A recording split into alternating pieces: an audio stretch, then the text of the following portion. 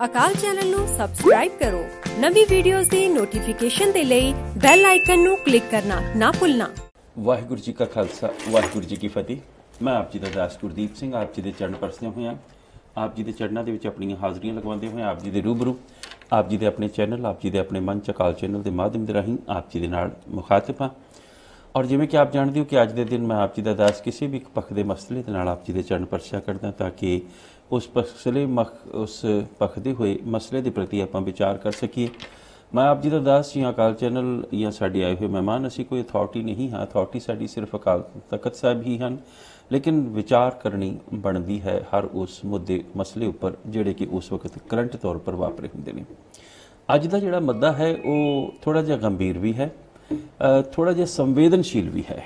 ਔਰ ਇਸ ਦੇ ਲਈ ਅਸੀਂ ਆਪਣੇ ਆਪ ਨੂੰ ਕਿਸੇ ਵੀ ਪੱਖ ਤੋਂ ਕਿਉਂਕਿ ਆਪਾਂ ਪੱਖਪਾਤੀ ਨਹੀਂ ਹੋਣਾ ਬਾਇਸਡ ਨਹੀਂ ਹੋਣਾ ਇਸ ਕਰਕੇ ਆਪਾਂ ਕਿਸੇ ਵੀ ਅ, ਧਿਰੇ ਧਰ ਨੂੰ ਜਿਹਨੂੰ ਆਪਾਂ ਕਹਿੰਦੇ ਆ ਧੜੇ ਨੂੰ ਜਾਂ ਪੱਖ ਨੂੰ ਉਸ ਦੇ ਨਾਲ ਨਾ ਤਾਂ ਆਪਾਂ ਅੱਜ ਦੇ ਇਸ ਮੁੱਦੇ ਦੇ ਪ੍ਰਤੀ ਅਸੀਂ ਖੜੇ ਹਾਂ। ਪਰ ਤੁਹਾਡੀਆਂ ਫੋਨ ਕਾਲਸ ਇਸ ਪੱਖੋਂ ਇਸ ਲਈ ਲਈਆਂ ਜਾਣਗੀਆਂ ਤਾਂ ਕਿ ਇਸ ਮੁੱਦੇ ਨੂੰ ਆਪਾਂ ਗੰਭੀਰਤਾ ਦੇ ਨਾਲ ਸੋਚ ਸਕੀਏ ਕਿ ਆਖਰ ਇਹ ਰੀਸੈਂਟਲੀ ਹੁਣੇ-ਹੁਣੇ ਕਿਉਂ ਸ਼ੁਰੂ ਹੋਣਾ ਹੋਇਆ ਕਿਉਂਕਿ ਇਹ ਮੁੱਦਾ ਉਸ ਵਕਤ ਦਰਪੇਸ਼ ਆਇਆ ਸੀ ਜਿਸ ਵਕਤ 2020 ਦੇ ਪ੍ਰਤੀ ਅ, ਟਫੈਲਕੋਰ ਸਕੇਟ ਦੇ ਵਿੱਚ ਗੁਰਸਿੱਖ ਇਕੱਠੇ ਹੋਏ ਸਨ ਤਾਂ ਉਸ ਵਕਤ ਕੁਝ ਚੰਦ ਲੋਕ ਉਸ ਵਕਤ ਟਫੈਲਕੋਰ ਸਕੇਟ ਦੇ ਸਾਹਮਣੇ ਗਿਣਤੀ ਦੇ ਉਹ ਲੋਕ ਸਨ। ਉਹ ਟਵੈਲਕਰ ਸਕੋਰ ਦੇ ਸਾਹਮਣੇ ਜਾ ਕੇ ਆਪਣਾ ਢੋਲ ਜਿਹਾ ਵਜਾ ਰਹੇ ਸਨ ਆਪਣਾ ਬੈਂਡ ਜਿਹਾ ਵਜਾ ਰਹੇ ਸਨ। ਲੇਕਿਨ ਇਸ ਵਾਰੀ ਕੁਝ ਐਸਾ ਹੋਇਆ ਮੈਂ ਥੋੜੀ ਜਿਹੀ ਭੂਮਿਕਾ ਬੰਦੇ ਆ ਵੈਸੇ ਤਾਂ ਆਪਾਂ ਜਿਹੜੇ ਸਾਡੇ ਆਏ ਹੋਏ ਮਹਿਮਾਨ ਨੇ ਉਹਨਾਂ ਪਾਸੋਂ ਡੀ- ਡਿਟੇਲ ਲਵਾਂਗੇ ਕਿ ਜਿਵੇਂ ਕਿ ਮੈਂ ਪਿਛਲੇ 2 ਜਾਂ 3 ਪ੍ਰੋਗਰਾਮ ਪਹਿਲਾਂ ਇੱਕ ਉਹ ਇਹ ਵੀ ਮੁੱਦੇ ਉੱਪਰ ਵਿਚਾਰ ਕੀਤੀ ਸੀ ਕਿ ਸਾਡੇ ਤਿੰਨ ਗੁਰਸਿੱਖ ਵੀਰਾਂ ਨੂੰ ਦਿੱਤੀ ਗਈ ਜਿਹੜੀ ਉਮਰ ਕੈਦ ਦੀ ਸਜ਼ਾ ਹੈ, ਜਿਨ੍ਹਾਂ ਦੇ ਵਿੱਚੋਂ ਸੁਰਜੀਤ ਸਿੰਘ ਸਾਹਿਬ ਜੀ ਰਣਜੀਤ ਸਿੰਘ ਸਾਹਿਬ ਜੀ ਅਤੇ ਅਰਵਿੰਦਰ ਸਿੰਘ ਸਾਹਿਬ ਜੀ ਆ ਜਿਹੜੀ ਤੁਸੀਂ ਪਿੱਛੇ ਤਸਵੀਰਾਂ ਦੇਖ ਰਹੇ ਹੋ। ਜੋ ਕਿ ਸਰਾਸਰ ਗਲਤ ਹੈ, ਸਰਾਸਰ ਸਿੱਖਾਂ ਦੇ ਨਾਲ ਇੱਕ ਬੇਇਨਸਾਫੀ ਹੈ, ਇਹਨਾਂ ਦਾ ਕਸੂਰ ਕੁਝ ਵੀ ਨਹੀਂ ਹੈ। ਇੱਕ ਲਿਟਰੇਚਰ ਹੈ, ਭਾਵੇਂ ਉਹ ਖਾਲਿਸਤਾਨ ਦਾ ਲਿਟਰੇਚਰ ਹੈ, ਖਾਲਸਾ ਰਾਜ ਦਾ ਲਿਟਰੇਚਰ ਹੈ ਜਾਂ ਮਹਾਪੁਰਖਾਂ ਦੇ ਬਾਬਤ ਲਿਟਰੇਚਰ ਹੈ, ਇਸ ਨੂੰ ਆਪਣੀਆਂ ਰੱਖਣਾ ਕਿਸੇ ਪੱਖੋਂ ਵੀ ਕੋਈ ਗੁਨਾਹ ਨਹੀਂ ਹੈ। ਜਦ ਕਿ ਹੁਣੇ-ਹੁਣੇ ਆਪ ਜੀ ਨੇ ਖਬਰ ਸੁਣੀ ਹੀ ਲਈ ਹੋਗੀ ਕਿ ਬਜਰੰਗੀ ਨਾਮ ਦਾ ਇੱਕ ਕੱਟਰਵਾਦੀ ਹਿੰਦੂ ਹੈ ਜਿਸ ਦੇ ਉੱਤੇ 93 ਕਤਲਾਂ ਦਾ ਦੋਸ਼ ਹੈ। ਜਿਸ ਵਕਤ 2002 ਦੇ ਵਿੱਚ ਗੋਤਾਰਾ ਕਾਂਡ ਹੋਇਆ ਸੀ, ਗੁਜਰਾਤ ਦੇ ਵਿੱਚ ਮੁਸਲਮਾਨਾਂ ਦੇ ਖਿਲਾਫ 93 ਕਤਲਾਂ ਦਾ ਉਹ ਜਿਹੜਾ ਬਜਰੰਗੀ ਹੈ ਉਸ ਨੂੰ ਜਿਸ ਨੂੰ 21 ਸਾਲ ਦੀ ਸਜ਼ਾ ਹੋਈ ਸੀ ਉਸ ਨੂੰ ਪੈਰੋਲ ਦੇ ਦਿੱਤੀ ਗਈ। ਯਾਨੀ ਕਿ ਅਲਟੀਮੇਟਲੀ ਸਿਹਤ ਦਾ ਹਵਾਲਾ ਦੇ ਕੇ ਉਸ ਨੂੰ ਰਿਹਾ ਕਰ ਦਿੱਤਾ ਗਿਆ। ਦੂਸਰੇ ਪਾਸੇ ਸਾਡੇ ਸਿੱਖਾਂ ਦੇ ਨਾਲ ਕੀ ਹੋ ਰਿਹਾ? ਜੇਲ੍ਹਾਂ ਦੇ ਵਿੱਚ ਸਜ਼ਾ ਭੁਗਤ ਚੁੱਕੇ ਨੇ। ਸਜ਼ਾ ਭੁਗਤ ਚੁੱਕਣ ਤੋਂ ਬਾਅਦ ਵੀ ਉਹਨਾਂ ਨੂੰ ਰਿਹਾ ਨਹੀਂ ਕੀਤਾ ਜਾ ਰਿਹਾ। ਤੋਂ ਖੈਰ, ਇਸ ਗੱਲ ਨੂੰ ਲੈ ਕੇ ਸਾਡੇ ਜਿਹੜੇ ਸਿੱਖ ਵੀਰ ਸਨ, ਉਹ ਕਸ਼ਮੀਰੀਆਂ ਦੇ ਨਾਲ ਮਿਲ ਕੇ ਭਾਰਤੀ ਸਫਾਰਤਖਾਨਾ, ਭਾਰਤੀ ਅੰਬੈਸੀ ਦੇ ਬਾਹਰ ਰੋਸ ਵਿਖਾਵਾ ਕਰ ਰਹੇ ਸਨ ਪ੍ਰੋਟੈਸਟ ਕਰ ਰਹੇ ਸਨ। ਇਹ ਰੋਸ ਵਿਖਾਵਾ ਪੀਸਫੁਲ ਰੋਸ ਵਿਖਾਵਾ ਸੀ। ਇਸ ਰੋਸ ਵਿਖਾਵੇ ਦੀ ਬਕਾਇਦਾ ਇਜਾਜ਼ਤ ਲਈ ਗਈ ਸੀ ਗੁਰਸਿੱਖਾਂ ਵੱਲੋਂ ਔਰ ਉਹਨਾਂ ਕਸ਼ਮੀਰੀਆਂ ਵੱਲੋਂ। ਹੁਣ ਉਸ ਰੋਸ ਵਿਖਾਵੇ ਦੇ ਵਿੱਚ ਉਹਨਾਂ ਦਾ ਜਿਹੜਾ ਪ੍ਰੋਟੈਸਟ ਸੀ, ਉਹ ਇਸ ਗੱਲ ਦੇ ਪ੍ਰਤੀ ਸੀ ਕਿ ਆ ਜਿਹੜੀਆਂ ਤਿੰਨ ਤਸਵੀਰਾਂ ਮੈਂ ਤੁਹਾਨੂੰ ਦਿਖਾਈਆਂ ਗੁਰਸਿੱਖਾਂ ਦੀਆਂ, ਜਿਨ੍ਹਾਂ ਨੂੰ ਕਿ ਉਮਰ ਕੈਦ ਦੀ ਸਜ਼ਾ ਹੋਈ ਹੈ, ਇਹਨਾਂ ਨੂੰ ਉਮਰ ਕੈਦ ਦੀ ਸਜ਼ਾ ਨਹੀਂ ਹੋਣੀ ਚਾਹੀਦੀ। ਜਾਂ ਫਿਰ ਉਮਰ ਕੈਦ ਦੀ ਸਜ਼ਾ ਇਹਨਾਂ ਨੂੰ ਹੋਈ ਹੈ ਤੇ ਹੋਈ ਕਿਉਂ ਹੈ? ਉਸ ਤੋਂ ਇਲਾਵਾ ਜਿਹੜੇ ਹੋਰ ਵੀ ਕਈ ਉੱਥੇ ਜਿਸ ਤਰ੍ਹਾਂ ਇੰਗਲੈਂਡ ਤੋਂ ਗਏ ਹੋਏ ਜਗਤਾਰ ਸਿੰਘ ਸਾਹਿਬ ਨੇ ਉਹਨਾਂ ਨੂੰ ਉੱਥੇ ਗ੍ਰਿਫਤਾਰ ਕੀਤਾ ਗਿਆ ਹੈ। ਹੋਰ ਇਸ ਤਰ੍ਹਾਂ ਦੀਆਂ ਕਈ, ਖੈਰ ਉਹਨਾਂ ਦੀ ਭਾਵੇਂ ਜ਼ਮਾਨਤ ਹੋ ਚੁੱਕੀ ਹੈ ਹੁਣ, ਪਰ 2-3 ਸਾਲ ਉਹਨਾਂ ਨੂੰ ਤਸ਼ੱਦਦ ਦੇ ਦੌਰ ਥੜੀ ਲੱਗਣਾ ਪਿਆ ਹੈ। ਤੋ ਇਸ ਗੱਲ ਦਾ ਇੱਕ ਰੋਸ, ਇੱਕ ਪ੍ਰੋਟੈਸਟ ਲੈ ਕੇ ਭਾਰਤੀ ਸਫਾਰਤਖਾਨੇ ਦੇ ਬਾਹਰ ਉਹ ਸਿੱਖ ਔਰ ਕਸ਼ਮੀਰੀ ਆਪੋ ਆਪਣੀਆਂ ਮੰਗਾਂ ਨੂੰ ਲੈ ਕੇ ਪ੍ਰੋਟੈਸਟ ਕਰ ਰਹੇ ਸਨ। ਜਿਸ ਵਕਤ ਉਹ ਪ੍ਰੋਟੈਸਟ ਕਰ ਰਹੇ ਸਨ ਤਾਂ ਉਹਨਾਂ ਦੇ ਸਾਹਮਣੇ ਕੁਝ ਫੰਡਾਮੈਂਟਲਿਸਟ ਕਹਿ ਲਓ ਜਾਂ ਕੱਟਰਵਾਦੀ ਕਹਿ ਲਓ ਜਾਂ ਉਹ ਕੌਣ ਲੋਕ ਸਨ? ਕਿਉਂਕਿ ਇੱਥੇ ਮੈਂ ਇੱਕ ਗੱਲ ਹੋਰ ਕਲੀਅਰ ਕਰਦਾ ਚੱਲਾਂ ਜਿਹੜੇ ਅੱਜ ਦੇ ਸਾਡੇ ਸਤਿਕਾਰਯੋਗ ਮਹਿਮਾਨ ਨੇ, ਮੇਰੇ ਬਹੁਤ ਹੀ ਪਿਆਰੇ ਵੀਰ ਬਲਵਿੰਦਰ ਸਿੰਘ ਜੀ, ਪੱਟੀ ਸਾਹਿਬ। ਜਿਸ ਵਕਤ ਆਪਾਂ ਉਹਨਾਂ ਨੂੰ ਕਿਹਾ ਕਿ ਮੈਂ ਤੁਹਾਡੇ ਨਾਲ ਇਹ ਪ੍ਰੋਗਰਾਮ ਅੱਜ ਦਾ ਕਰਨਾ ਚਾਹੁੰਦਾ ਤਾਂ ਉਹਨਾਂ ਨੇ ਕਿਹਾ ਸੀਗਾ ਕਿ ਅਸੀਂ ਦੋ ਜਿਹੜੇ ਉੱਥੇ ਸਾਡੇ ਗੁਰਸਿੱਖ ਸਨ, ਗੁਰਚਰਨ ਸਿੰਘ ਜਾਂ ਗੁਰਪ੍ਰੀਤ ਸਿੰਘ ਸਾਹਿਬ, ਉਹਨਾਂ ਨੂੰ ਬੁਲਾ ਲਈਏ। ਅਸੀਂ ਅਗਰ ਉਹਨਾਂ ਨੂੰ ਬੁਲਾਉਂਦੇ ਤਾਂ ਉਹਨਾਂ ਨੇ ਆ ਵੀ ਜਾਣਾ ਸੀ। ਲੇਕਿਨ ਅਸੀਂ ਉਹਨਾਂ ਨੂੰ ਜਾਣ ਕੇ ਇਸ ਕਰਕੇ ਨਹੀਂ ਬੁਲਾਇਆ ਕਿਉਂਕਿ ਉੱਥੇ ਸਨ ਉਹ, ਇਸ ਕਰਕੇ ਨਹੀਂ ਬੁਲਾਇਆ ਕਿ ਕਿਤੇ ਇਹ ਜਿਹੜਾ ਅੱਜ ਦਾ ਪ੍ਰੋਗਰਾਮ ਬਾਇਸਡ ਨਾ ਹੋ ਜਾਏ, ਇੱਕ ਪੱਖੀ ਨਾ ਹੋ ਜਾਏ। ਤੇ ਕਿਉਂਕਿ ਸਾਨੂੰ ਜਿਹੜੇ ਸਾਹਮਣੇ ਖੜੇ ਸਨ, ਜਿਹੜੇ ਸੋ ਕੋਲਡ ਹਿੰਦੂ ਸਨ ਜਾਂ ਹਿੰਦੂ ਕਮਿਊਨਿਟੀ ਦੇ ਵਿੱਚ ਸਨ ਉਹਨਾਂ ਦੇ ਬਾਰੇ ਸਾਨੂੰ ਕੁਝ ਨਹੀਂ ਸੀ ਪਤਾ ਵੀ ਉਹ ਕਿਹੜੇ ਬੰਦੇ ਨੇ। ਕੋਈ ਕਹਿ ਰਹੇ ਸੀ ਕਿ ਪਹਾੜੇ ਪਹਾੜੇ ਦੇ ਟੱਟੂ ਨੇ, ਖਰੀਦ ਕੇ ਲਿਆਂਦੇ ਗਏ ਨੇ। ਕੋਈ ਕਹਿ ਰਿਹਾ ਸੀਗਾ ਕਿ ਏਜੰਸੀਆਂ ਦੇ, ਭਾਰਤੀ ਏਜੰਸੀਆਂ ਦੇ ਬੰਦੇ ਨੇ। ਤਾਂ ਸਾਨੂੰ ਤਾਂ ਉਹਨਾਂ ਦੇ ਬਾਰੇ ਕੁਝ ਪਤਾ ਨਹੀਂ ਲੱਗਾ। ਅਗਰ ਉਹਨਾਂ ਦੇ ਵਿੱਚੋਂ ਕੋਈ ਸੁਣ ਰਿਹਾ ਹੋਵੇ ਤਾਂ ਉਹ ਫੋਨ ਲਾਈਨ ਸਾਡੇ ਨਾਲ ਗੱਲਬਾਤ ਕਰ ਸਕਦਾ ਹੈ। ਜਾਂ ਫਿਰ ਉਹ ਉਹਨਾਂ ਦੇ ਨਾਲ ਅਗਰ ਰਾਬਤਾ ਹੋ ਜਾਂਦਾ, ਅਗਰ ਉਹਨਾਂ ਦੇ ਵਿੱਚੋਂ ਕੋਈ ਇੱਕ ਆਉਣ ਲਈ ਮਨਜ਼ੂਰੀ ਦੇ ਦਿੰਦਾ ਤਾਂ ਅਸੀਂ ਫਿਰ ਜਿਹੜੇ ਸਾਡੇ ਗੁਰਕੇ ਸਿੱਖ ਸਨ, ਉਹਨਾਂ ਦੇ ਵਿੱਚੋਂ ਵੀ ਕਿਸੇ ਇੱਕ ਨੂੰ ਬੁਲਾ ਲੈਣਾ ਸੀ। ਕਿਉਂਕਿ ਇਹ ਪ੍ਰੋਗਰਾਮ ਬਾਇਸਡ ਨਾ ਹੋਵੇ, ਇਸ ਕਰਕੇ ਅਸੀਂ ਉਹਨਾਂ ਨੂੰ ਨਹੀਂ ਬੁਲਾਇਆ। ਕਿਸੇ ਨੂੰ ਵੀ ਨਹੀਂ ਬੁਲਾਇਆ, ਨਾ ਇਸ ਧਿਰ ਨੂੰ ਬੁਲਾਇਆ, ਨਾ ਉਸ ਧਿਰ ਨੂੰ ਬੁਲਾਇਆ। ਹੁਣ ਹੋਇਆ ਕੀ ਕਿ ਪਹਿਲੀ ਗੱਲ ਤਾਂ ਇਹ ਕੀ ਪਾਲਿਸੀ ਹੈ ਹਿੰਦੁਸਤਾਨ ਦੀ ਸਰਕਾਰ ਦੀ ਜਾਂ ਹਿੰਦੁਸਤਾਨੀਆਂ ਦੀ? ਕਿਉਂਕਿ ਪ੍ਰੋਟੈਸਟ ਤਾਂ ਅਸੀਂ ਭਾਰਤ ਵਿੱਚ ਵੀ ਕਰਦੇ ਹਾਂ। ਇੰਡੀਆ ਦੇ ਵਿੱਚ ਵੀ ਕਰਦੇ ਹਾਂ ਤਾਂ ਹੋਣਾ ਤੇ ਇਹ ਚਾਹੀਦਾ ਸੀਗਾ ਕਿ ਜਿਹੜੇ ਹਿੰਦੂ ਵੀਰ ਨੇ, ਉਹ ਸਿੱਖਾਂ ਦੇ ਨਾਲ ਜਾ ਕੇ ਖੜੇ ਹੁੰਦੇ ਕਿ ਹਾਂ ਭਾਈ, ਤੁਹਾਡੀਆਂ ਜਾਇਜ਼ ਮੰਗਾਂ ਨੇ, ਅਸੀਂ ਤੁਹਾਡੇ ਨਾਲ ਸਹਿਮਤੀ ਭਰਦੇ ਹਾਂ। ਪਰ ਉਹ ਕਿਸ ਹਿਸਾਬ ਦੇ ਨਾਲ, ਯਾਨੀ ਕਿ ਉਹਨਾਂ ਦਾ ਕੋਈ ਪ੍ਰੋਟੈਸਟ ਨਹੀਂ ਹੈ, ਔਰ ਫਿਰ ਹੋਇਆ ਕੀ ਕਿ ਲੱਗਦਾ ਇਸ ਤਰ੍ਹਾਂ ਸੀ ਕਿ ਉਹ ਸਿੱਖਾਂ ਨੂੰ ਜਾਣ ਕੇ ਪ੍ਰਵੋਕ ਕਰਨ ਵਾਸਤੇ ਆਏ ਸਨ। ਕਿਉਂ? ਪ੍ਰਵੋਕ ਕਰਨ ਵਾਸਤੇ ਕਿਸ ਤਰ੍ਹਾਂ ਆਏ ਸਨ? ਇੱਕ ਪੋਸਟਰ ਦਿਖਾਣਾ ਮੈਂ ਤੁਹਾਡੇ ਕੋਲ। ਇੱਕ ਪੋਸਟਰ ਦਿਖਾਣਾ ਸੁਖਦੇਵ। ਇਹ ਪੋਸਟਰ ਤੁਸੀਂ ਧਿਆਨ ਦੇ ਨਾਲ ਦੇਖੋ। ਇਹ ਪੋਸਟਰ ਪੈਰਾਂ ਦੇ ਵਿੱਚ ਰੁਲਿਆ ਉਸ ਦਿਨ। ਪੈਰਾਂ ਦੇ ਵਿੱਚ ਪੋਸਟਰ ਕੋਈ ਵੀ ਰੁਲੇ, ਜਿੱਥੇ ਗੁਰਬਾਣੀ ਲਿਖੀ ਹੋਵੇ ਜਾਂ ਜਿੱਥੇ ਦਸਤਾਰ ਹੋਵੇ, ਉਸ ਪੋਸਟਰ ਨੂੰ ਅਗਰ ਪੈਰਾਂ ਦੇ ਵਿੱਚ ਰੁਲਦਾ ਕੋਈ ਦੇਖਦਾ ਹੈ, ਤਾਂ ਸਿੱਖ ਕੀ ਆਪਣੇ ਆਪ ਨੂੰ ਉਸ ਵਕਤ ਸਟਾਪ ਕਰ ਸਕਦਾ? ਮੈਂ ਮੰਨਦਾ ਕਿ ਇਸ ਦੇਸ਼ ਦਾ ਕਾਨੂੰਨ ਐਸਾ ਹੈ ਕਿ ਇਸ ਦੇਸ਼ ਦੇ ਕਾਨੂੰਨ ਦੇ ਮੁਤਾਬਕ ਪੁਲਿਸ ਕੋਲ ਜਾ ਕੇ ਸ਼ਿਕਾਇਤ ਕੀਤੀ ਜਾ ਸਕਦੀ ਹੈ ਕਿ ਆ ਜਿਹੜਾ ਪੋਸਟਰ ਬਣਾਇਆ ਅੱਛਾ, ਇਹ ਹੁਣ ਪੋਸਟਰ ਬਣਾ ਕੇ ਉਸ ਦਾ ਮਤਲਬ ਕੀ ਸੀ? ਇਸ ਪੋਸਟਰ ਦੇ ਥੱਲੇ 2020 ਦੇ ਵਿੱਚ 2020 ਕੱਟ ਕੱਟ ਕੇ 420 ਲਿਖਿਆ ਗਿਆ। ਅੱਛਾ, ਹੁਣ ਦਸਤਾਰ ਬਣਾਈ ਗਈ ਹੈ। ਦਸਤਾਰ ਦਾ ਮਤਲਬ ਇਹ ਹੈ ਕਿ ਹਰ ਸਿੱਖ 4 420 ਹੋ ਗਿਆ ਫਿਰ। ਕਿਉਂਕਿ 2020 ਕੱਟ ਕੇ ਦਸਤਾਰ ਬਣਾ ਕੇ, ਕਿਉਂਕਿ ਦਸਤਾਰ ਤਾਂ ਸਿੱਖ ਦਾ ਪਹਿਲਾ ਕਰਮ ਹੈ। ਦਸਤਾਰ ਤੋਂ ਬਿਨਾਂ ਤਾਂ ਸਿੱਖ ਅਧੂਰਾ ਹੈ। ਤੇ ਦਸਤਾਰ ਸਿੱਖ ਦੀ ਹੀ ਪ੍ਰਤੀਕ ਹੈ। ਭਾਵੇਂ ਇਹਨਾਂ ਦੇ ਹਿੰਦੂਆਂ ਦੇ ਵੀ ਪੂਰਵਜ ਜਿਹੜੇ ਵੱਡੇ ਵਡੇਰੇ ਨੇ, ਜਾਂ ਮੌਲਵੀ ਪੰਡਤ ਜਾਂ ਮੁਸਲਮਾਨਾਂ ਦੇ ਮੌਲਵੀ ਉਹ ਵੀ ਪੱਗਾਂ ਬੰਨਦੇ ਨੇ, ਦਸਤਾਰਾਂ ਸਜਾਉਂਦੇ ਨੇ। ਜਾਂ ਫਿਰ ਜਿਹੜੇ ਸੋ ਕੋਲਡ ਉਹਨਾਂ ਦੇ ਟੈਰਰਿਸਟ ਨੇ ਇਸਲਾਮਿਕ ਟੈਰਰਿਸਟ ਉਹ ਵੀ ਦਸਤਾਰਾਂ ਸਜਾਉਂਦੇ ਨੇ। ਪਰ ਦਸਤਾਰ ਸਿੱਖਾਂ ਦਾ ਹੀ ਪ੍ਰਤੀਕ ਬਣ ਕੇ ਰਹਿ ਗਈ। ਜਿਸ ਵਕਤ ਉਹਨਾਂ ਨੇ ਆਹ ਦਸਤਾਰ ਦਿਖਾਈ ਗਈ, ਦਸਤਾਰ ਨੂੰ ਫਿਰ ਪੈਰਾਂ ਦੇ ਵਿੱਚ, ਯਾਨੀ ਕਿ ਉਸ ਪੋਸਟਰ ਨੂੰ ਪੈਰਾਂ 'ਚ ਰੋਲਿਆ ਗਿਆ। ਸਿੱਖਾਂ ਦੇ ਬਾਰੇ 2020 ਕੱਟ ਕੇ, ਪਹਿਲਾ 20 ਕੱਟ ਕੇ ਉਹਦੇ ਅੱਗੇ 420 ਲਿਖਿਆ ਗਿਆ। ਇਸ ਦਾ ਮਤਲਬ ਕੀ ਸੀਗਾ ਕਿ ਉਹ ਨੋਇੰਗਲੀ ਪ੍ਰਵੋਕ ਕਰਨ ਦੇ ਵਾਸਤੇ ਆਏ ਸਨ। ਬਕਾਇਦਾ ਸਕੀਮ ਬਣਾ ਕੇ ਪ੍ਰਵੋਕ ਕਰਨ ਦੇ ਵਾਸਤੇ ਆਏ ਸਨ। ਹੋਰ ਕੋਈ ਮਕਸਦ ਉਹਨਾਂ ਦਾ ਹੋ ਨਹੀਂ ਸਕਦਾ ਕਿ ਇੱਕ ਆਰਾਮ ਦੇ ਨਾਲ ਪ੍ਰੋਟੈਸਟ ਕਰ ਰਹੇ ਨੇ ਤੁਹਾਨੂੰ ਆਰਾਮ ਦੇ ਨਾਲ ਸਿੱਖਾਂ ਦਾ ਹੁਣ ਪ੍ਰੋਟੈਸਟ ਕਰਨਾ ਵੀ ਮਨਜ਼ੂਰ ਨਹੀਂ ਹੈ। ਹੁਣ ਮੈਂ ਤੁਹਾਨੂੰ ਦੋ ਫੁਟੇਜ ਦਿਖਾਉਣ ਜਾ ਰਿਹਾ ਮੈਂ, ਇਸ ਤੋਂ ਬਾਅਦ ਮੈਂ ਆਪਣੇ ਆਏ ਹੋਏ ਸਤਿਕਾਰਯੋਗ ਵੀਰ ਬਲਵਿੰਦਰ ਸਿੰਘ ਸਾਹਿਬ ਜੀ ਦੇ ਨਾਲ ਆਪ ਜੀ ਦੀ ਜਾਣ ਪਛਾਣ ਦੇ ਤੋਂ ਮੁਹਤਾਜ ਨਹੀਂ, ਫਤਿਹ ਦੀ ਸਾਂਝ ਆਪਾਂ ਪਾਵਾਂਗੇ। ਪਹਿਲਾ ਪ੍ਰੋਟੈਸਟ ਹੈ, ਉਹਦੇ ਵਿੱਚ ਆਪ ਦੇਖੋ ਕਿ ਉਹ ਜਿਹੜਾ ਨੀਲੀ ਕਮੀਜ਼ ਵਾਲਾ ਟੈਕਸੀ ਦੇ ਪਿੱਛੇ, ਇਹ ਮੈਂ ਇਸ ਕਰਕੇ ਸਾਇਲੈਂਟ ਕਰ ਦਿੱਤੀ ਹੈ ਇਹ, ਕਿਉਂਕਿ ਇਹਦੇ ਵਿੱਚੋਂ ਗਾਲਾਂ ਕੱਢ ਰਿਹਾ। ਆ ਥੋੜਾ ਜਿਹਾ ਦੇਖੋ ਦੁਬਾਰਾ। ਉਹ ਵਿਅਕਤੀ ਜਿਹੜਾ ਟੈਕਸੀ ਦੇ ਪਿੱਛੇ ਹੈ, ਇਹ ਸਿੱਖਾਂ ਨੂੰ ਉਸ ਵਕਤ ਗਾਲਾਂ ਕੱਢ ਰਿਹਾ, ਯਾਨੀ ਕਿ ਸ਼ੁਰੂਆਤ ਇਹਨਾਂ ਸ਼ਰਾਰਤੀ ਲੋਕਾਂ ਵੱਲੋਂ ਕੀਤੀ ਗਈ। ਜੇ ਅਸੀਂ ਇਹਨਾਂ ਨੂੰ ਸ਼ਰਤਾਰਤੀ ਕਹਿੰਦੇ ਆ ਤਾਂ ਅਸੀਂ ਅਲੱਗਵਾਦੀ ਹੋ ਜਾਂਦੇ ਆ ਕਿਉਂਕਿ ਇਹਨਾਂ ਦੇ ਕੋਲ ਇਹਨਾਂ ਦਾ ਦੇਸ਼ ਹੈ। ਹੁਣ ਪਿੱਛੇ ਉਹ ਸ਼ਰਾਰਤੀ ਜਿਹੜਾ ਗਾਲਾਂ ਕੱਢ ਰਿਹਾ ਹੈ, ਇਹ ਸਿੱਖਾਂ ਨੂੰ ਪ੍ਰਵੋਕ ਕਰਨ ਦੇ ਵਾਸਤੇ, ਉਹਦੇ ਪਿੱਛੇ ਉਹ ਦੇਖੋ ਤੁਸੀਂ ਪੋਸਟਰ ਪਕੜਿਆ ਹੋਇਆ ਜਿਹਦੇ ਤੇ ਕਾਲੇ ਰੰਗ ਦੀ ਉਹ ਦਸਤਾਰ ਹੈ। ਮੈਂ ਜਿਹੜੀ ਦਸਤਾਰ ਦਿਖਾਈ ਉਹ ਕੇਸਰੀ ਰੰਗ ਦੀ ਹੈ। ਉਹ ਕਾਲੇ ਰੰਗ ਦੀ ਦਸਤਾਰ ਇਹ ਮੈਂ ਤੁਹਾਨੂੰ ਦਿਖਾਵਾਂਗਾ ਨਹੀਂ, ਸਾਡੇ ਪਾਸ ਹੈ ਜਿਸ ਤਰ੍ਹਾਂ ਇਹਨਾਂ ਨੇ ਪੈਰਾਂ ਦੇ ਵਿੱਚ ਉਹ ਦਸਤਾਰ ਵਾਲਾ ਪੋਸਟਰ ਰੋਲਿਆ ਮੈਂ ਇਸ ਕਰਕੇ ਨਹੀਂ ਦਿਖਾਵਾਂਗਾ ਕਿਉਂਕਿ ਮੇਰੀ ਜ਼ਮੀਰ ਮੈਨੂੰ ਇਜਾਜ਼ਤ ਨਹੀਂ ਦਿੰਦੀ, ਬਾਕੀ ਉਹ ਮੇਰੇ ਪਾਸ ਹੈ। ਇਸੇ ਕਰਕੇ ਮੈਂ ਇਸ ਦੀ ਆਵਾਜ਼ ਬੰਦ ਕਰ ਦਿੱਤੀ ਹੈ ਕਿਉਂਕਿ ਇਸ ਦੇ ਵਿੱਚ ਉਹ ਸਿੱਖਾਂ ਨੂੰ ਗਾਲਾਂ ਕੱਢ ਰਿਹਾ ਹੈ ਹੁਣ ਉਸ ਤੋਂ ਬਾਅਦ ਸਿੱਖਾਂ ਦੇ ਵੀ ਪ੍ਰਵੋਕ ਹੋਏ ਤਾਂ ਗਾਲਾਂ ਉਧਰੋਂ ਵੀ ਨਿਕਲੀਆਂ ਨੇ। ਮੈਂ ਇਸ ਗੱਲ ਨੂੰ ਇਨਕਾਰ ਨਹੀਂ ਕਰਦਾ ਡਿਨਾਈ ਨਹੀਂ ਕਰਦਾ। ਪਰ ਇਹ ਜੈਸਚਰ ਮੈਂ ਦਿਖਾਉਣ ਤੋਂ ਬਾਅਦ, ਇਹ ਫੁਟੇਜ ਦਿਖਾਉਣ ਤੋਂ ਬਾਅਦ ਫਿਰ ਹੁਣ ਤੁਸੀਂ ਦੇਖੋ ਕਿ ਇਸ ਵਕਤ ਜਦੋਂ ਉਹ ਸਾਰੇ ਆਮ ਸਿੱਖਾਂ ਵੱਲ ਗਾਲਾਂ ਕੱਢ ਰਹੇ ਹੈ, ਤਾਂ ਉਸ ਵਕਤ ਸਿੱਖਾਂ ਦਾ ਪ੍ਰਵੋਕ ਹੋਣਾ। ਮੈਂ ਪ੍ਰਸ਼ਨ ਕਰਦਾ ਤੁਹਾਡੇ ਅੱਗੇ ਕਿ ਕੀ ਉਸ ਵਕਤ ਜਦੋਂ ਪ੍ਰਵੋਕ ਕਰ ਰਹੇ ਨੇ, ਜਾਣਬੁੱਝ ਕੇ ਕਰ ਰਹੇ ਨੇ ਨੋਇੰਗਲੀ ਆਏ ਹੋਏ ਨੇ ਉੱਥੇ ਔਰ ਇਹ ਧਾਰ ਕੇ ਆਏ ਹੋਏ ਨੇ। ਅ- ਇਹਨਾਂ ਦਾ ਮਤਲਬ ਕੀ ਉੱਥੇ ਆਉਣ ਦਾ? ਹੁਣ ਉੱਥੇ ਆ ਕੇ ਉਹ ਕਰ ਕੀ ਰਹੇ ਨੇ? ਪਾਕਿਸਤਾਨ, ਖਾਲਿਸਤਾਨ ਦੇ ਖਿਲਾਫ ਨਾਰੇ ਲਗਾ ਰਹੇ ਨੇ, ਜੈ ਹਿੰਦ ਵਗੈਰਾ ਕਰ ਰਹੇ ਨੇ, ਉਹ ਮੈਂ ਤੁਹਾਨੂੰ ਦੁਬਾਰਾ ਫੇਰ ਦਿਖਾਣਾ ਪਹਿਲਾਂ ਤੁਸੀਂ ਆਵਲਾ ਦੇਖੋ। ਇਹ ਜਿਸ ਤਰ੍ਹਾਂ ਹੀ ਖਤਮ ਹੁੰਦਾ ਹੈ, ਕਿਉਂਕਿ ਮੈਂ, ਮੇਰੇ ਪਾਸ ਕਾਫੀ ਸਾਰੇ ਆਈਆਂ ਨੇ ਫੁਟੇਜ, ਲੇਕਿਨ ਮੈਂ ਸਿਰਫ ਤੁਹਾਨੂੰ ਉਹੀ ਫੁਟੇਜ ਦਿਖਾ ਰਿਹਾ, ਜਿਸ ਦੇ ਵਿੱਚ ਕੋਈ ਜ਼ਿਆਦਾ ਵਾਇਲੈਂਸ ਨਹੀਂ ਹੈ, ਤਾਂ ਕਿ ਆਪਾਂ ਕਿਸੇ ਵੀ ਤਰੀਕੇ ਦੇ ਨਾਲ ਹੁਣ ਇਸ ਪ੍ਰੋਗਰਾਮ ਦੇ ਵਿੱਚ ਪ੍ਰਵੋਕ ਨਹੀਂ ਹੋਣ। ਕਿ ਤੁਹਾਡੀ ਕਾਲਸ ਲੈਣੀਆਂ ਬੜੇ ਪਿਆਰ ਸਤਿਕਾਰ ਦੇ ਨਾਲ ਆਪਾਂ ਗੱਲ ਕਰਨੀ ਪਰ ਮੈਂ ਚਾਹਾਂਗਾ ਕਿ ਜੇ ਇਹਨਾਂ ਦੇ ਵਿੱਚੋਂ ਕੋਈ ਉਹ ਦੇਖੋ ਆਪ ਦੇਖ ਰਹੇ ਹੋ ਕਿ ਇਸ ਵਕਤ ਕੀ ਹੋਇਆ। ਇਸ ਤੋਂ ਬਾਅਦ ਮੈਂ ਤੁਹਾਨੂੰ ਹੋਰ ਜੋ ਹੋਇਆ ਉਹ ਨਹੀਂ ਦਿਖਾ ਸਕਾਂਗਾ। ਹੁਣ ਤੁਸੀਂ ਆ ਦੇਖੋ ਇਹਨਾਂ ਦਾ।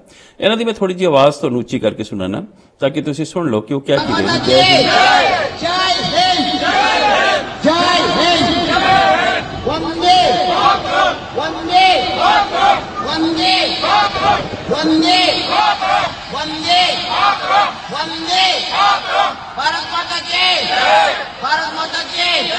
ਭਾਰਤ ਤੁਸੀਂ ਦੇਖ ਸਕਦੇ ਹੋ ਝੰਡੇ ਦੇ ਪਿੱਛੇ ਉਸ ਤਰ੍ਹਾਂ ਲੱਗ ਰਿਹਾ ਜਿਸ ਕੋਈ ਕੇਸਰੀ ਦਸਤਾਰ ਵਾਲਾ ਖੜਾ ਪਿੱਛੇ ਹੁਣ ਜ਼ਾਹਿਰ ਤੌਰ ਜੇ ਇਹ ਜੈ ਹਿੰਦ ਕਹਿ ਸਕਦੇ ਆ ਤੇ ਅਸੀਂ ਕੀ ਜੈ ਖਾਲਸਾ ਨਹੀਂ ਕਹਿ ਸਕਦੇ ਜੈ ਸਿੱਖ ਨਹੀਂ ਕਹਿ ਸਕਦੇ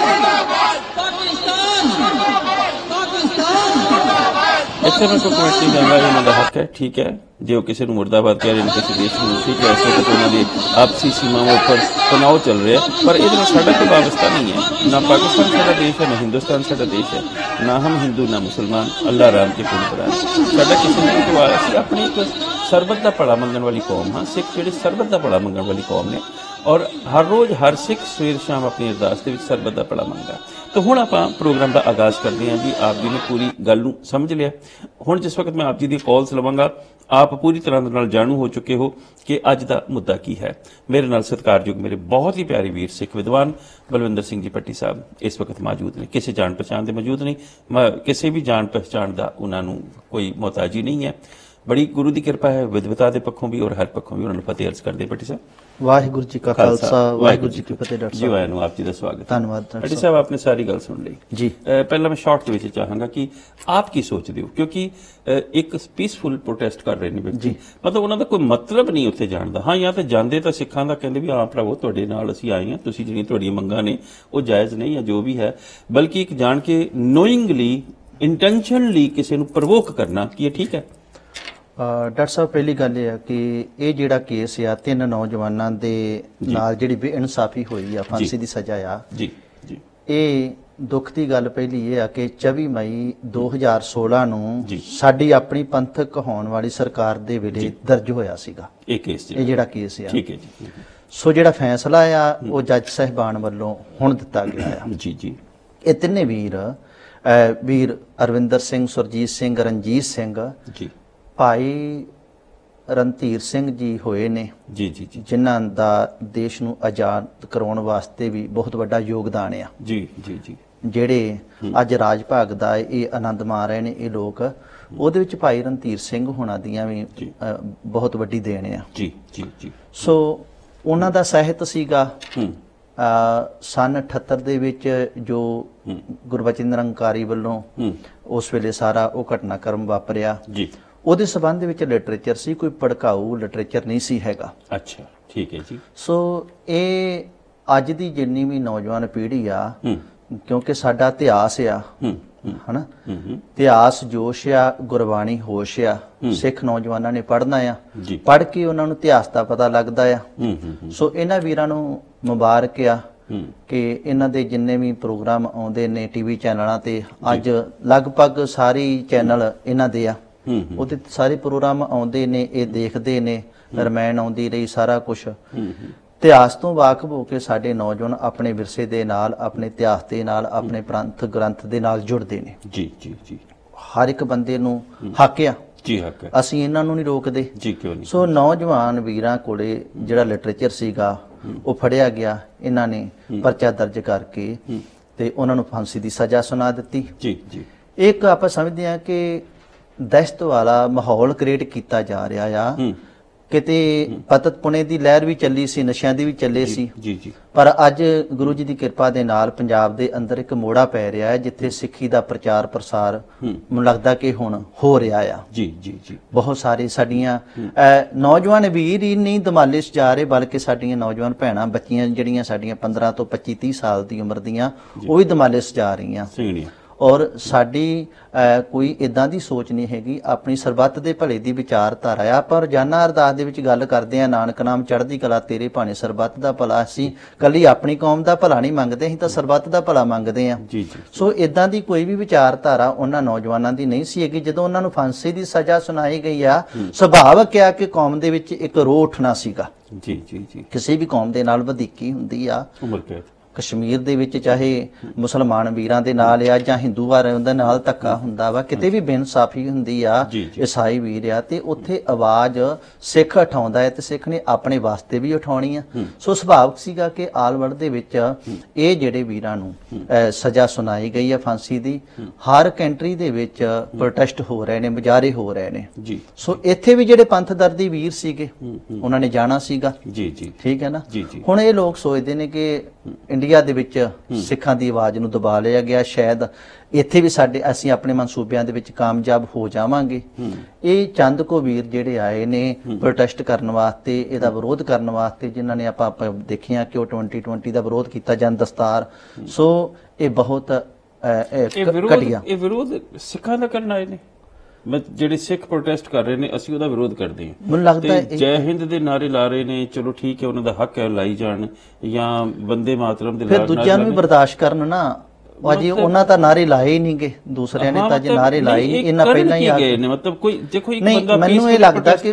ਇਹ ਤਾਂ ਸਾਡੇ ਜ਼ਖਮਾਂ ਤੇ ਲੂਣ ਛਿੜਕਣ ਵਾਸਤੇ ਆਏ ਨੇ ਔਰ ਹੈ ਵੀ ਉੱਥੇ। 4 5 6 ਇਹ ਕੋਈ ਸਿਆਣਪ ਵਾਲੀ ਗੱਲ ਨਹੀਂ ਦੇਖੋ ਇੱਕ ਤਾਂ ਹੁੰਦਾ ਨਾ ਯੰਗ ਬਲੱਡ ਆ ਕੋਈ ਇਹਨਾਂ ਦੇ ਬੱਚੇ ਆ ਆ ਫਿਰ ਉਹਨਾਂ ਦੇ ਵਿੱਚ ਵੇਖੋ ਮੈਂ ਦੇਖ ਰਿਹਾ ਬਜ਼ੁਰਗ ਵੀ ਹੈਗੇ ਸਿਆਣੇ ਆ ਉਹਨਾਂ ਨੂੰ ਸਮਝਾਉਣਾ ਚਾਹੀਦਾ। ਵੀ ਭਾਈ ਨਹੀਂ ਉਹਨਾਂ ਦਾ ਹੱਕ ਹੈ ਉਹਨਾਂ ਦਾ ਰਾਈਟ ਆ। ਜੇ ਕਰਨਾ ਹੀ ਸੀ ਅਗਲੇ ਦਿਨ ਕਰ ਲੈਣ ਪ੍ਰੋਟੈਸਟ ਸਾਹਮਣੇ ਜਾ ਕੇ ਖੜੇ ਨੇ ਉਹ ਉਹਨਾਂ ਦੇ ਪ੍ਰੋਟੈਸਟ ਕਰ ਹੀ ਨਹੀਂ ਰਹੇ ਨਾ ਉਹ ਕਿਸ ਗੱਲ ਦਾ ਪ੍ਰੋਟੈਸਟ ਕਰ ਰਹੇ ਨੇ ਮਤਲਬ ਸਿੱਖਾਂ ਦੇ ਖਿਲਾਫ ਜਾਂ ਕਸ਼ਮੀਰੀਆਂ ਦੇ ਖਿਲਾਫ ਪ੍ਰੋਟੈਸਟ ਕਰ ਰਹੇ ਨੇ ਮੈਨੂੰ ਤਾਂ ਇਹ ਲੱਗਦਾ ਸ਼ਰਾਰਤੀ ਅੰਸਰ ਨੇ ਨਹੀਂ ਸ਼ਰਾਰਤੀ ਤਾਂ ਅੰਸਰ ਸ਼ਰਾਰਤੀ। ਅੰਸਰ ਤੇ ਉਹਨਾਂ ਦੀ। ਸ਼ਰਾਰਤ ਦਾ ਫਿਰ ਜਿਹੜਾ ਜਿਹੜਾ ਜਿਹੜਾ ਮਕਸਦ ਹੈ ਉਹ ਸਿੱਖਾਂ ਨੂੰ ਪ੍ਰਵੋਕ ਕਰਨਾ ਹੈ। ਪਰ ਉਹ ਕਰਨਾ ਬਿਲਕੁਲ ਭੜਕਾ ਰਹੇ ਨੇ ਮੈਂ ਜਿੱਦਾਂ ਤੁਹਾਨੂੰ ਦੱਸਿਆ ਕਿ ਸਾਡੇ ਜ਼ਖਮਾਂ ਤੇ ਲੂਣ ਛਿੜਕਣ ਆਏ ਨੇ ਉਹ। ਜੀ। ਬੰਦਾ ਇਹ ਸੀਗਾ ਕਿ ਸਗੋਂ ਇਹ ਸਾਡੇ ਨਾਲ ਖੜਦੇ ਵੀ ਵੀ ਜੇ ਤੁਹਾਡੇ ਬੇਇਨਸਾਫੀ ਹੋ ਰਹੀ ਹੈ ਧੱਕਾ ਹੋ ਰਿਹਾ ਤਾਂ ਅਸੀਂ ਤੁਹਾਡੇ ਨਾਲ ਆ ਤੇ ਇਹਨਾਂ ਨੌਜਵਾਨਾਂ ਦੀ ਜਿਹੜੀ ਆ ਫਾਂਸੀ ਦੀ ਸਜ਼ਾ ਜਿਹੜੀ ਆ ਉਹ ਰੱਦ ਹੋਣੀ ਚਾਹੀਦੀ ਆ। ਧੱਕਾ ਨਹੀਂ ਹੋਣਾ ਚਾਹੀਦਾ। ਬਲਕਿ ਉਹ ਤਾਂ ਦੇਖੋ ਜਿੱਦਾਂ ਉਹਨਾਂ ਦਸਤਾਰਾਂ ਵਾਲੇ ਮਗਰ ਬਣਾਏ ਨੇ ਪੀਲੀ ਦਸਤਾਰ ਵਾਲਾ ਕੇਸਰੀ ਦਸਤਾਰ ਦਸਤਾਰ ਵਾਲਾ ਫਿਰ ਉਹ ਕਾਲੀ ਦਸਤਾਰ ਵਾਲਾ ਤੇ ਫਿਰ ਦਸਤਾਰ ਦਾ ਇੱਕ ਪੋਸਟਰ ਮੇਰੇ ਕੋਲ ਹੈ ਜਿਹੜਾ ਕਿ ਉਹਨਾਂ ਨੇ ਪੈਰਾਂ ਹੇਠਾਂ ਉਸ ਪੋਸਟਰ ਨੂੰ ਰੋਲਿਆ ਦਸਤਾਰ ਵਾਲੇ ਪੋਸਟਰ ਨੂੰ। ਜਿਹੜਾ ਕਿ ਮੈਂ ਇਸ ਕਰਕੇ ਨਹੀਂ ਦਿਖਾ ਰਿਹਾ ਕਿਉਂਕਿ ਸਾਡਾ ਕੋਈ ਮਕਸਦ ਕਿਸੇ ਨੂੰ ਪ੍ਰਵੋਕ ਕਰਨਾ ਨਹੀਂ। ਹਾਂਜੀ ਨਹੀਂ ਅਸੀਂ ਭੜਕਾਊ ਨਹੀਂ ਐਸਾ ਕੁਝ ਵੀ ਕਰਨਾ ਪਰ ਜੇ ਸਾਡੇ ਨਾਲ ਇਦਾਂ ਦਾ ਆਣ ਕੇ ਬਿਹੇਵ ਕਰਨਗੇ ਫਿਰ ਸੁਭਾਵਕ ਆ ਕਿ ਨੌਜਵਾਨਾਂ ਦੇ ਅੰਦਰ ਰੋ ਉੱਠਣਾ ਤੇ ਉਹ ਜਿਹੜੇ ਹਾਲਾਤ ਉੱਥੇ ਪੈਦਾ ਹੋਏ ਨੇ ਉਹ ਇਹਨਾਂ ਦੀ ਬਦੌਲਤ ਹੋਏ ਨੇ। ਬਟ ਸਾਹਿਬ ਦਾ ਮਤਲਬ ਕਿ ਇੱਕ ਤੇ ਉਹ ਸ਼ੋਅ ਕਰਨਾ ਚਾਹੁੰਦੇ ਨੇ ਕਿ ਹਰ ਦਸਤਾਰਧਾਰੀ ਟੈਰਰਿਸਟ ਹੈ। ਹਾਂਜੀ। ਇਹੀ ਸ਼ੋਅ ਕਰਨਾ ਚਾਹੁੰਦੇ ਨੇ ਔਰ ਹਰ ਦਸਤਾਰਧਾਰੀ ਫਿਰ 2020 ਦੀ ਮੰਗ ਕਰ ਰਿਹਾ। ਹੋ ਸਕਦਾ ਕੁਝ ਦਸਤਾਰਧਾਰੀ ਨਾ ਵੀ 2020 ਦੀ ਮੰਗ ਕਰ ਰਹੇ ਹੋਣ। ਨਹੀਂ ਇਹ ਸਾਨੂੰ 20 ਮਜਬੂਰ ਕਰ ਰਹੇ ਨੇ। ਫਿਰ ਅਸੀਂ ਜਾਈਏ। ਸਾਨੂੰ ਮਜਬੂਰ ਕਰ ਰਹੇ ਨੇ ਅਸੀਂ ਉਸ ਮੰਗ ਦੇ ਵਿੱਚ ਸ਼ਾਮਲ ਹੋਈਏ। ਹਾਂਜੀ, ਹਾਂਜੀ, ਔਰ ਫਿਰ 2020 ਤੋਂ ਪਹਿਲਾਂ ਸਾਨੂੰ ਇਹ ਅਹਿਸਾਸ ਕਰਵਾ ਰਹੇ ਨੇ ਬਗਾਨੇਪਨ ਦਾ ਸੋ ਇਹ ਇਹ ਚੰਗੀ ਗੱਲ ਨਹੀਂ ਔਰ ਹੈਗੀ ਫਿਰ ਪਹਿਲਾ 2020 ਦੇ ਵਿੱਚ 2020 ਤੋਂ ਪਹਿਲਾ 20 ਕੱਟ ਕੇ ਉਹਦੇ ਥੱਲੇ 4 ਲਿਖਿਆ ਗਿਆ ਯਾਨੀ ਕਿ 420 ਕਿ ਸਾਰੀ ਸਿੱਖ ਕੌਮ ਹੀ ਹਰ ਦਸਤਾਰਧਾਰੀ 420 420 ਇਹਨਾਂ ਦਾ ਇੱਕ ਕਾਨੂੰਨ ਹੈ ਭਾਰਤੀ ਸੰਵਿਧਾਨ ਦਾ ਹਾਂਜੀ। ਇੰਡੀਅਨ ਗਵਰਨਮੈਂਟ ਦਾ ਉਹਦੇ ਵਿੱਚ 420 ਦਾ ਮਤਲਬ ਹੈ ਜਿਹੜਾ ਕਿਸੇ ਨੂੰ ਧੋਖਾ ਧੜੀ ਕਰੇ। ਹੁਣ ਧੋਖਾ ਤੇ ਇਹਨਾਂ ਨੇ ਦਿੱਤਾ ਸਾਨੂੰ। ਬਿਲਕੁਲ ਬਿਲਕੁਲ ਆਪਾਂ ਆਜ਼ਾਦੀ ਲੈਣ ਤੋਂ ਬਾਅਦ ਸਿੱਖਾਂ ਨੂੰ ਜਰਾਇਮ ਪੇਸ਼ਾ ਸਾਡੀਆਂ ਕੁਰਬਾਨੀਆਂ ਜਿੰਨੀਆਂ ਜੇਲਾਂ ਅਸੀਂ ਕੱਟੀਆਂ 90% ਸਿੱਖਾਂ ਨੇ ਆਜ਼ਾ- ਦੇਸ਼ ਨੂੰ ਆਜ਼ਾਦ ਕਰਵਾਉਣ ਵਾਸਤੇ ਆਪਣਾ ਯੋਗਦਾਨ ਪਾਇਆ, ਸ਼ਹੀਦੀਆਂ ਕੁਰਬਾਨੀਆਂ ਜੇਲ੍ਹਾਂ ਕੱਟੀਆਂ ਆ। ਸੋ ਸਿੱਖਾਂ ਦੀ ਬਦੌਲਤ ਤਾਂ ਇਹ ਅੱਜ ਰਾਜ ਭਾਗ ਤੇ ਬੈਠੇ ਨੇ ਔਰ ਅੱਜ ਸਾਨੂੰ ਹੀ ਇਹ ਲੋਕ ਮੂੰਹ ਚੜਾ ਰਹੇ ਹੈ ਨੇ। ਕਿ ਕ- ਜਦੋਂ ਸਿੱਖ ਪ੍ਰੋਟੈਸਟ ਕਰਦੇ ਆ ਤੇ ਕਈ ਸਿੱਖਾਂ ਦੇ ਬਿਆਨ ਆ ਜਾਂਦੇ ਜੀ ਸਾਡਾ ਉਹਦਾ ਕੋਈ ਮਤਲਬ ਨਹੀਂ। ਹੁਣ ਕਿਸੇ ਵੀ ਹਿੰਦੂ ਜਥੇਬੰਦੀ ਦਾ ਇੱਥੇ ਬਿਆਨ ਨਹੀਂ ਆਇਆ। ਭਾਵੇਂ ਇੰਗਲੈਂਡ ਦੀ ਕਿਸੇ ਵੀ ਹਿੰਦੂ ਜਥੇਬੰਦੀ ਦਾ ਕਿਸੇ ਵੀ ਟੈਂਪਲ ਕਿਸੇ ਵੀ ਪ੍ਰਬੰਧਕ ਕਮੇਟੀ ਦਾ ਇਹ ਬਿਆਨ ਨਹੀਂ ਆਇਆ ਕਿ ਇਹ ਜਿਹੜੇ ਫੰਡਾਮੈਂਟਲਿਸਟ ਹਿੰਦੂ ਗਏ ਨੇ ਕੱਟੜਵਾਦੀ ਹਿੰਦੂ ਗਏ ਨੇ ਸਾਡਾ ਇਹਨਾਂ ਨਾਲ ਕੋਈ ਸੰਬੰਧ ਨਹੀਂ ਹੈ। ਕਿਸੇ ਇੱਕ ਦਾ ਵੀ ਬਿਆਨ ਨਹੀਂ ਆਇਆ। ਉਹਨਾਂ ਨੂੰ ਕੰਡੈਮ ਕਰਨਾ ਚਾਹੀਦਾ ਉਹਨਾਂ ਨੂੰ ਮਾਹੌਲ ਜਿਹੜਾ ਨੇ ਸਿਆਣਪ ਇਸੇ ਗੱਲ 'ਚ ਹੁੰਦੀ ਆ ਜਿੱਦਾਂ ਆਪਾਂ ਬੈਠ ਕੇ ਬੜੇ ਪਿਆਰ ਨਾਲ ਵਿਚਾਰਾਂ ਕਰ ਰਹੇ ਆ ਜੀ ਸੋ ਉਹਨਾਂ ਦਾ ਫਰਜ਼ ਬਣਦਾ ਸੀ اخلاقی ਤੌਰ ਤੇ ਵੀ ਭਾਈ ਇਹ ਗਲਤ ਆ ਜਿਹੜਾ ਵੀ ਬੰਦਾ ਇਦਾਂ ਦੇ ਕਾਰੇ ਕਰਦਾ ਆ ਸੋ ਉਹਨੂੰ ਕੰਡੈਮ ਕਰਨਾ ਚਾਹੀਦਾ ਸੀ ਇਹਨਾਂ ਦੀ ਸਟੇਟਮੈਂਟ ਆਉਣੀ ਚਾਹੀਦੀ ਸੀ ਇਦਾਂ ਦੀ ਜਿਹੜੇ ਵੀ ਹੈਗੇ ਜਿਹੜੇ ਮਾਹੌਲ ਨੂੰ ਵਧੀਆ ਬਣਾ ਕੇ ਰੱਖਣਾ ਚਾਹੁੰਦੇ ਨੇ ਗੱਲਾਂ ਕਰੀ ਜਾਂਦੇ ਨੇ ਹਿੰਦੂ ਸਿੱਖ ਇਕਤਾ ਹਿੰਦੂ ਸਿੱਖ ਇਕਤਾ ਪਰ ਪ੍ਰੈਕਟੀਕਲ ਰੂਪ ਦੇ ਵਿੱਚ ਇਹੀ ਆ ਕਿ ਇਹਨਾਂ ਨੂੰ ਤਾਂ ਮੀਡੀਆ ਦੇ ਵਿੱਚ ਆ ਕੇ ਗੱਲ ਕਰਨੀ ਚਾਹੀਦੀ ਇੱਥੇ ਚੈਨਲ ਤੇ ਬੈਠ ਕੇ ਵੀ ਜਿਹੜੇ ਲੋਕ ਉੱਥੇ ਆਏ ਨੇ ਇਦਾਂ ਦਾ ਕਰਨ ਵਾਸਤੇ ਅਸੀਂ ਉਹਦੀ ਨਖੇਦੀ ਕਰਦੇ ਆ ਨਿੰਦਿਆ ਕਰਦੇ ਆ ਪਰ ਕੋਈ ਨਹੀਂ ਪਹੁੰਚਿਆ। ਇਹ ਜਿਹੜੀ ਉਮਰ ਕੈਦ ਹੋਈ ਹੈ ਇਹਨਾਂ ਤਿੰਨਾਂ ਸਿੱਖਾਂ ਨੂੰ ਇਹਦੇ ਬਾਰੇ ਕੋਈ ਅਪੀਲ ਹੋਈ ਹੈ ਜਾਂ ਕੋਈ ਹਲੇ ਤੱਕ? ਹਾਂਜੀ ਆਪਾਂ ਵੱਖ-ਵੱਖ ਜਿਹੜੀਆਂ ਜਥੇਬੰਦੀਆਂ ਨੇ ਵੀਰ ਹਰਜਿੰਦਰ ਸਿੰਘ ਮਾਂਝੀ ਹੋਣਾ ਨੇ ਆਪਣੇ ਤੌਰ ਤੇ ਪ੍ਰੋਟੈਸਟ ਕੀਤਾ ਆ। ਨਵਕਿਰਨ ਸਿੰਘ ਵਕੀਲ ਜਿਹੜੇ ਉਹਨਾਂ ਵੀ ਕੀਤਾ। ਰੋਜ਼ਾਨਾ ਹੋ ਰਹੇ ਨੇ ਵੱਖ-ਵੱਖ ਕੰਟਰੀਆਂ ਦੇ ਵਿੱਚ। ਇਹਨਾਂ ਦਾ ਕੋਈ ਕੇਸ ਕਿਸੇ ਵਕੀਲ ਵੱਲੋਂ ਨਹੀਂ ਲੜਿਆ ਸੀ ਕਿਉਂਕਿ ਇਹਦੇ ਕੋਈ ਕੇਸ ਬਣਦਾ ਹੀ ਨਹੀਂ ਹੈ। literature ਮੈਂ ਪੜ੍ਹ ਰਿਹਾ ਸੀ ਗਿਆਨੀ ਹਰਪ੍ਰੀਤ ਸਿੰਘ ਜਥੇਦਾਰ ਸ਼੍ਰੀ ਅਕਾਲ ਤਖਤ ਸਾਹਿਬ ਦੀ ਸਟੇਟਮੈਂਟ ਹੈਗੀ ਸੀਗੀ ਕਿ ਉਹਨਾਂ ਦਾ ਜਿਹੜਾ ਸਾਰਾ ਕੇਸ ਆ ਉਹ ਐਸਜੀਪੀਸੀ ਲੜੇਗੀ। ਸ਼੍ਰੋਮਣੀ ਕਮੇਟੀ। ਮਤਲਬ ਇਸ ਤੋਂ ਬਾਅਦ ਜਿਹੜੀ ਉਮਰ ਕੈਦ ਦੇ ਖਿਲਾਫ ਜਿਹੜੀ ਮੈਂ ਹਾਂ। ਕੱਲ ਹੀ ਪੜ੍ਹ ਰਿਹਾ ਸੀਗਾ ਕਿ ਸ਼੍ਰੋਮਣੀ ਕਮੇਟੀ ਨੇ ਇਹਨਾਂ ਨੌਜਵਾਨਾਂ ਦਾ ਕੇਸ ਲੜਨ ਦੀ ਜ਼ਿੰਮੇਵਾਰੀ ਜਿਹੜੀ ਆ ਜਿੰਨਾ ਵੀ ਖਰਚਾ ਆਏਗਾ।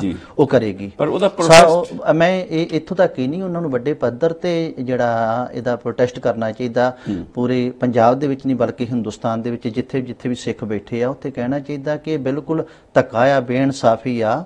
ਸੋ ਇਹਨਾਂ ਨੂੰ ਬੜੇ ਵਧੀਆ ਤਰੀਕੇ ਦੇ ਨਾਲ ਸਾਰਾ ਸਾਨੂੰ ਕਰਨਾ ਚਾਹੀਦਾ ਆ। ਮੁੜ ਕੇ ਫਿਰ ਕਹਿ ਦਿੰਦੇ ਨੇ ਕਿ ਨੌਜਵਾਨ ਮਾਹੌਲ ਕਰਦੇ ਨੇ ਪੰਜਾਬ ਦਾ ਖਰਾਬ ਕਰਦੇ ਨੇ। ਸਾਨੂੰ ਅੱਤਵਾਦੀ ਵੱਖਵਾਦੀ ਕਹਿ ਕੇ ਗਰਦਾਨਿਆ ਜਾਂਦਾ।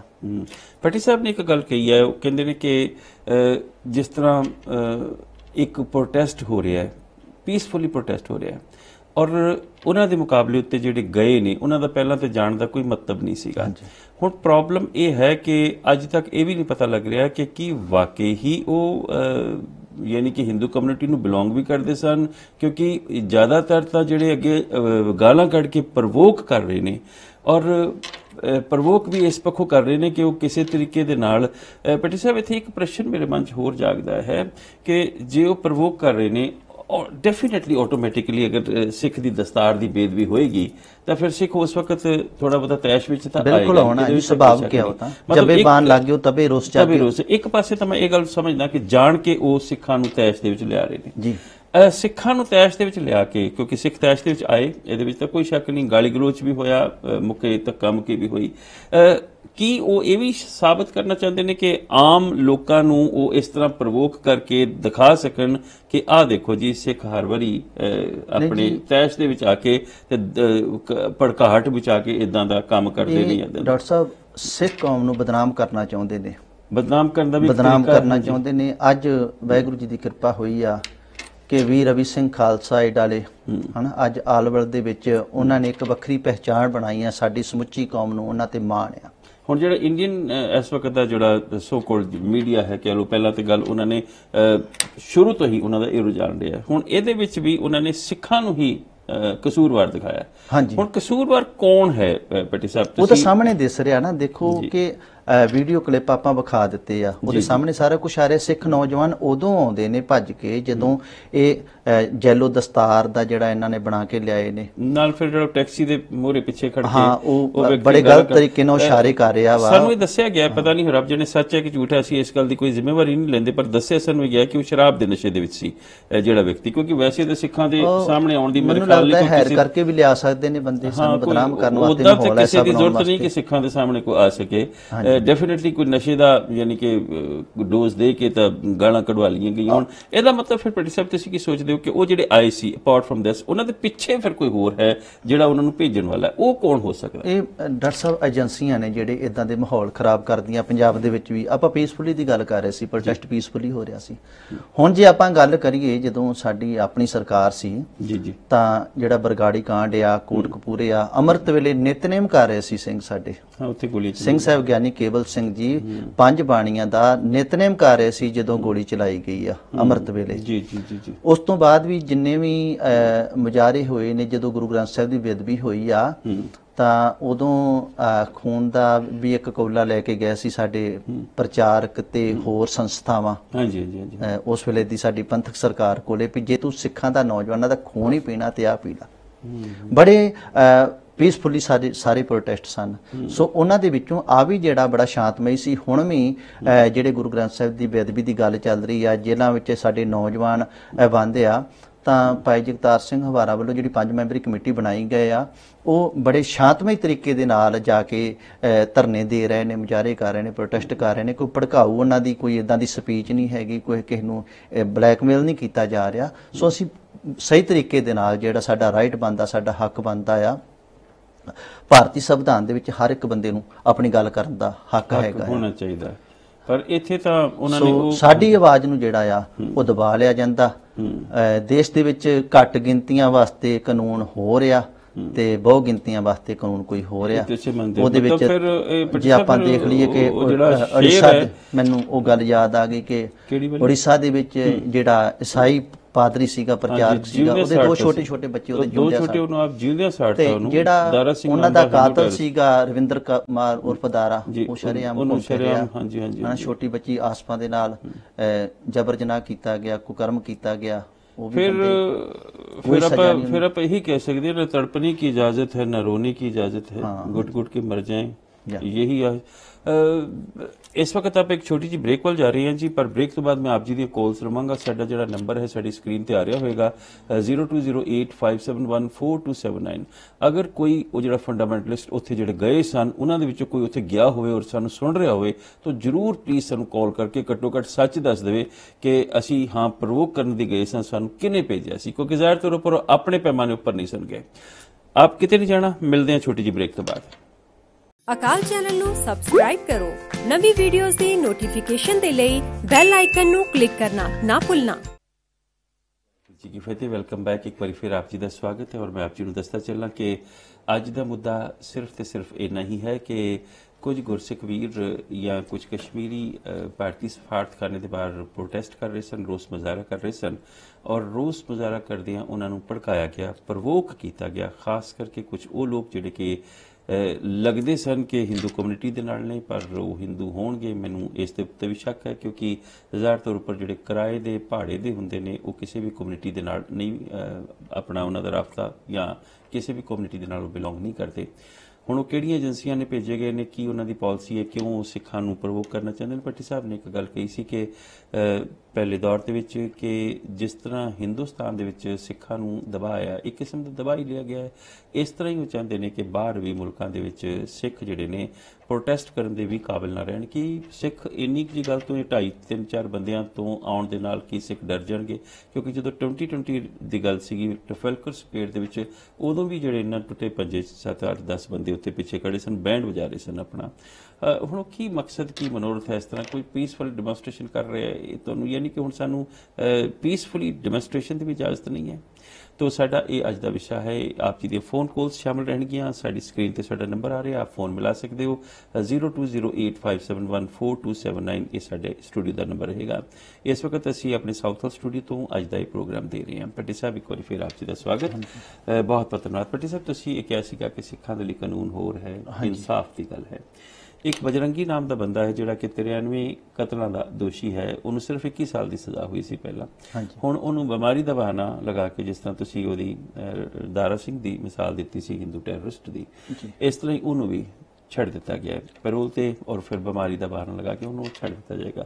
ਹਾਲੇ ਸਾਡੇ ਕਈ ਸਿੱਖ ਐਸੇ ਨੇ ਜਿਹੜੀਆਂ ਕਿ ਆਪਣੀ ਸਜ਼ਾਵਾਂ ਭੁਗਤ ਵੀ ਬੈਠੇ ਨੇ। ਔਰ ਸਜ਼ਾਵਾਂ ਭੁਗਤਣ ਤੋਂ ਬਾਅਦ ਵੀ ਉਹਨਾਂ ਨੂੰ ਜੇਲ੍ਹ ਵਿੱਚ ਹੀ ਰੱਖਿਆ ਗਿਆ। ਇਹ ਮੇਰਾ ਅਗਲਾ ਪ੍ਰਸ਼ਨ ਹੋਏਗਾ ਇਹ ਮੈਂ ਪ੍ਰਸ਼ਨ ਕਰਾਂਗਾ ਤੁਹਾਨੂੰ ਇੱਕ ਕਾਲ ਤੋਂ ਬਾਅਦ।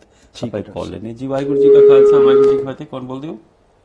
ਹੈਲੋ ਵਾਹਿਗੁਰੂ ਖਾਲਸਾ ਵਾਹਿਗੁਰੂ ਫਤਿਹ ਜੀ। ਵਾਹਿ ਖਾਲਸਾ ਵਾਹਿਗੁਰੂ ਫਤਿਹ ਜੀ। ਵੀਰ ਜੀ।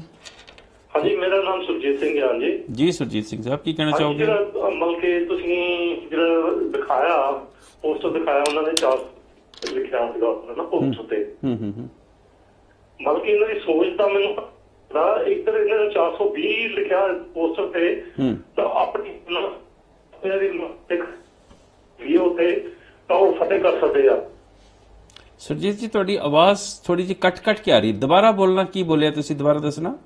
ਹਾਂਜੀ ਮੈਂ ਇਹ ਕਹਿਣਾ ਚਾਹੁੰਦਾ ਹਾਂ ਵੀ ਮਤਲਬ ਕਿ ਅਹ, ਅਹ, 400 420 ਲਿਖਿਆ ਜਿਹੜਾ ਪੋਸਟਰਾਂ ਤੇ। ਜੀ ਜੀ। ਦੂਸਰੇ ਪਾਸੇ ਇਹ ਆਪਣੇ ਚੈਨਲਾਂ ਤੇ ਦਿਖਾਉਂਦੇ ਆ ਵੀ ਮਤਲਬ ਕਿ ਜਿਹੜੇ ਸਿੱਖ ਰੈਜੀਮੈਂਟ ਆ ਇਹ ਉਹ ਤੋਂ ਕੱਲੀਏ ਤਾਂ ਮਤਲਬ ਕਿ ਉਹ ਮਤਲਬ ਕਿ ਇਹਨਾਂ ਸਫਾਈ ਕਰ ਸਕਦੀ ਆ ਇਹਨਾਂ ਦੀ ਮੇਰੀ ਸੋਚ ਦਾ ਪਤਾ ਨਹੀਂ ਲੱਗ ਰਿਹਾ